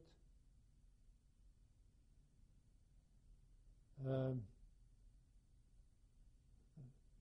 make them up. I think Elizabeth, uh, so that must be Lydia, and Kate. And uh, what was the occasion of this picture? Uh, just to have a family picture and keep it for posterity. And approximately when was this picture taken? Uh, about about seven years ago, which would bring it to around 1975 or 6, is it? No, wait a minute, what are we, 90, 80, 85 or 86? Uh, 91, yeah. 85? 95. My goodness. Listen, let's start all over again. So what year was this picture taken? 95, Thank you. 1995. And can you tell me about this document, Mr. Ferber? Yes, I was flown back from uh, Lubeck uh, to Brussels by, matter of fact, an American Air Force plane. And then already the French army actually had organized already the reception of many uh, deportees coming back or military personnel coming back. And uh, they gave us an identity card that says carte de repatriation, which is the same word, and I kept it ever since. So this is what it is, and it shows its age more than I do. What year was this? Nine, 1st of June, 1945. Thank you. And this document, Mr. Ferber? This is my carte de déporté politique, which was issued by the French government. Uh, this is back. Uh, I didn't apply for anything for a long time. This is the 28th of July, 1989. I didn't really bother for any, you know, any paper, French paper during that period. And what was this card used for? Uh, just to tell you that that your status and military status as well. That you Thank you. And can you tell me about this telegram? well, this is a telegram that my uncle Roddy, which was my mother's uh, brother, sent. Apparently, I managed somehow to have him notified that I would be returning and he sent a telegram to my parents immediately to notify them of that event. And the date on this? 25th of May 1945. Thank you. Mr. Ferber, would you please introduce the lady that was with you today? Oh, I'd be delighted to do that. We just met recently, 54 years ago. This is my wife, Ruth. And Mrs. Ferber, will you please take the microphone? Can you tell me how you met? For the first time in my life, my cousin Arnold invited me to go to Atlantic City and stay at his sister's place. And we were sitting on the beach, and the group of family and friends who were there were agog because this Frenchman was coming to join the group. A mutual friend was bringing him. And so we were waiting, and somebody said, There he is. And I looked up and I saw this very handsome, beautifully built man who, instead of taking the steps like everyone else was doing, put his hand on the rail, vaulted over the rail, and lightly landed on his feet and started walking toward us. And I said to myself, ugh, not interested, big show off. Well, he came to the group, and I was sitting there with my hair in pigtails. It was very long. And uh, I had Noxzema on my face because they didn't have SPF 15 in those days, and I had neglected to bring a cover, so I had my cousin's t shirt on, and young ladies didn't wear boys' clothing in those days, so I, I was a, not a vision of loveliness. I don't, he never told me what he thought, except that he never spoke to me that afternoon. And um, that evening, we met at a party that uh, our cousin, my cousin, and I guess, well, we're we have cousins by marriage. So anyhow, there was a party and we met, and my hair was up, and my face was tanned, and my black dress was fitted, and my heels were high. And he came over and he said to me, Would you like to leave this party and go dancing? And I said, Sure.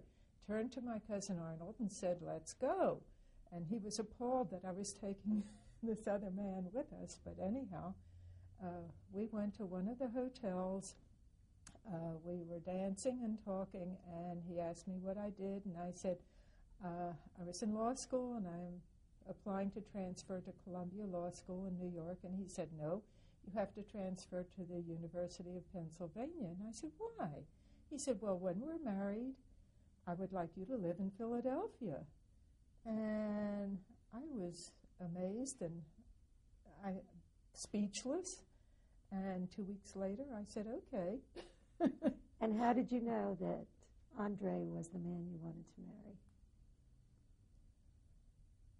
I can't answer that specifically. I was 22. Uh, I dated a lot. Um, I, it was just right. The chemistry was there. Uh, I knew he was a gentle, fine person, and uh, I was not mistaken. How much was he willing to share in those early days about his war experiences?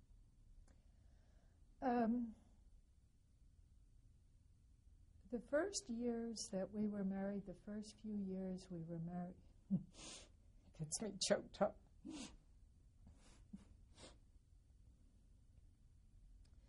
Um, sometimes at night, Andre would start talking, and he would talk through the night. The dawn would come up, and he'd be talking about his experiences. And I would stay in the bed and listen without tears, without too much comment, just listen.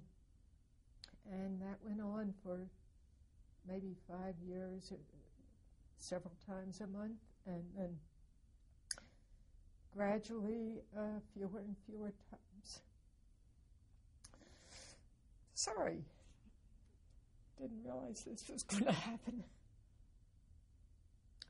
And uh, eventually, uh, Andre stopped talking about his experiences, and when he did, it was uh, during the day and more open and more public and with less pain. And it, it's been a long time since since it's been a an emotional discussion. How do you think those experiences that he was able to share with you affected your relationship with him?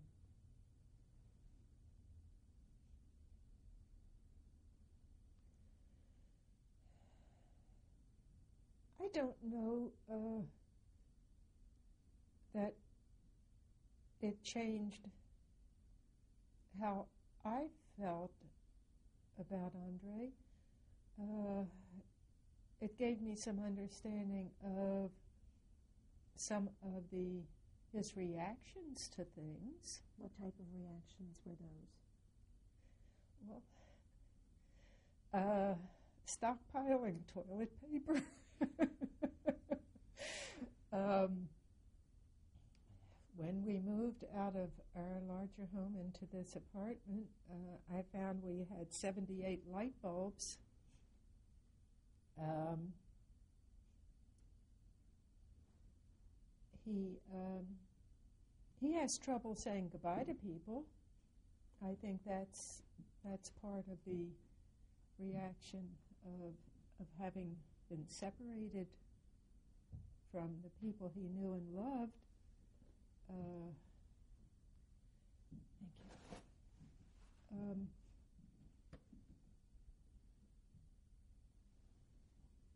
Andre's father was a very kind, very loving man. His mother was a lovely woman, but his father especially was a gentle man in the true meaning of the word. And I think Andre has been that way all of his life as well, uh, perhaps with more understanding of human nature.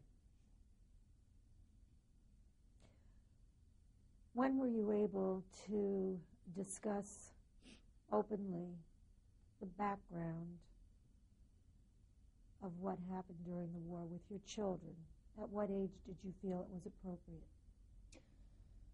Andre chose never to discuss it with the children.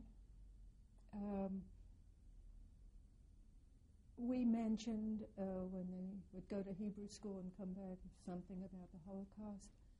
Uh, he, they knew their father had been in a concentration camp, but uh, there was never, ever any detailed discussion as they were growing up.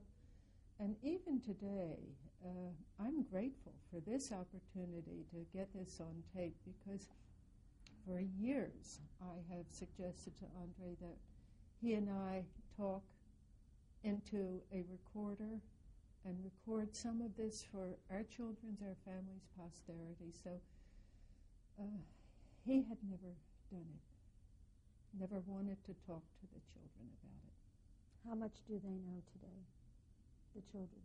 Uh, details of what happened to him, no. Uh, general details of camp, yes. But there, there were things that I doubt very much if Andre, even with you, discussed some of the, the horrors. I can't believe he would. I did more. Good. Okay. Yeah.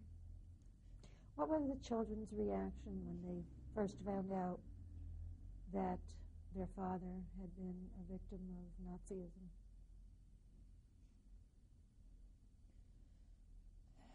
I think that the knowledge was imparted so casually, in such an offhand way, that they were not uh, terribly impressed. I mean, it's just something they grew up knowing. Okay, Daddy had been in a camp; he was a survivor, uh, and that was it. No, no, uh, no reaction in the sense of being appalled, because they had no knowledge of, of what he had lived through.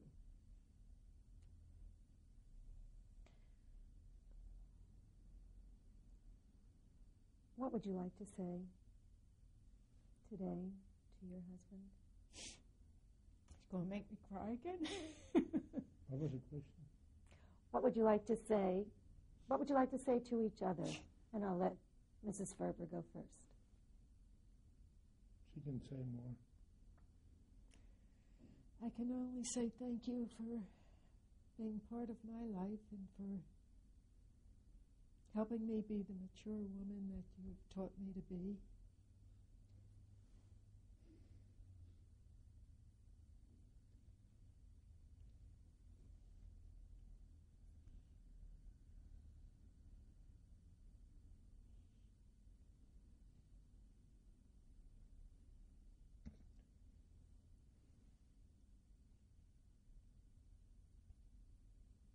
You.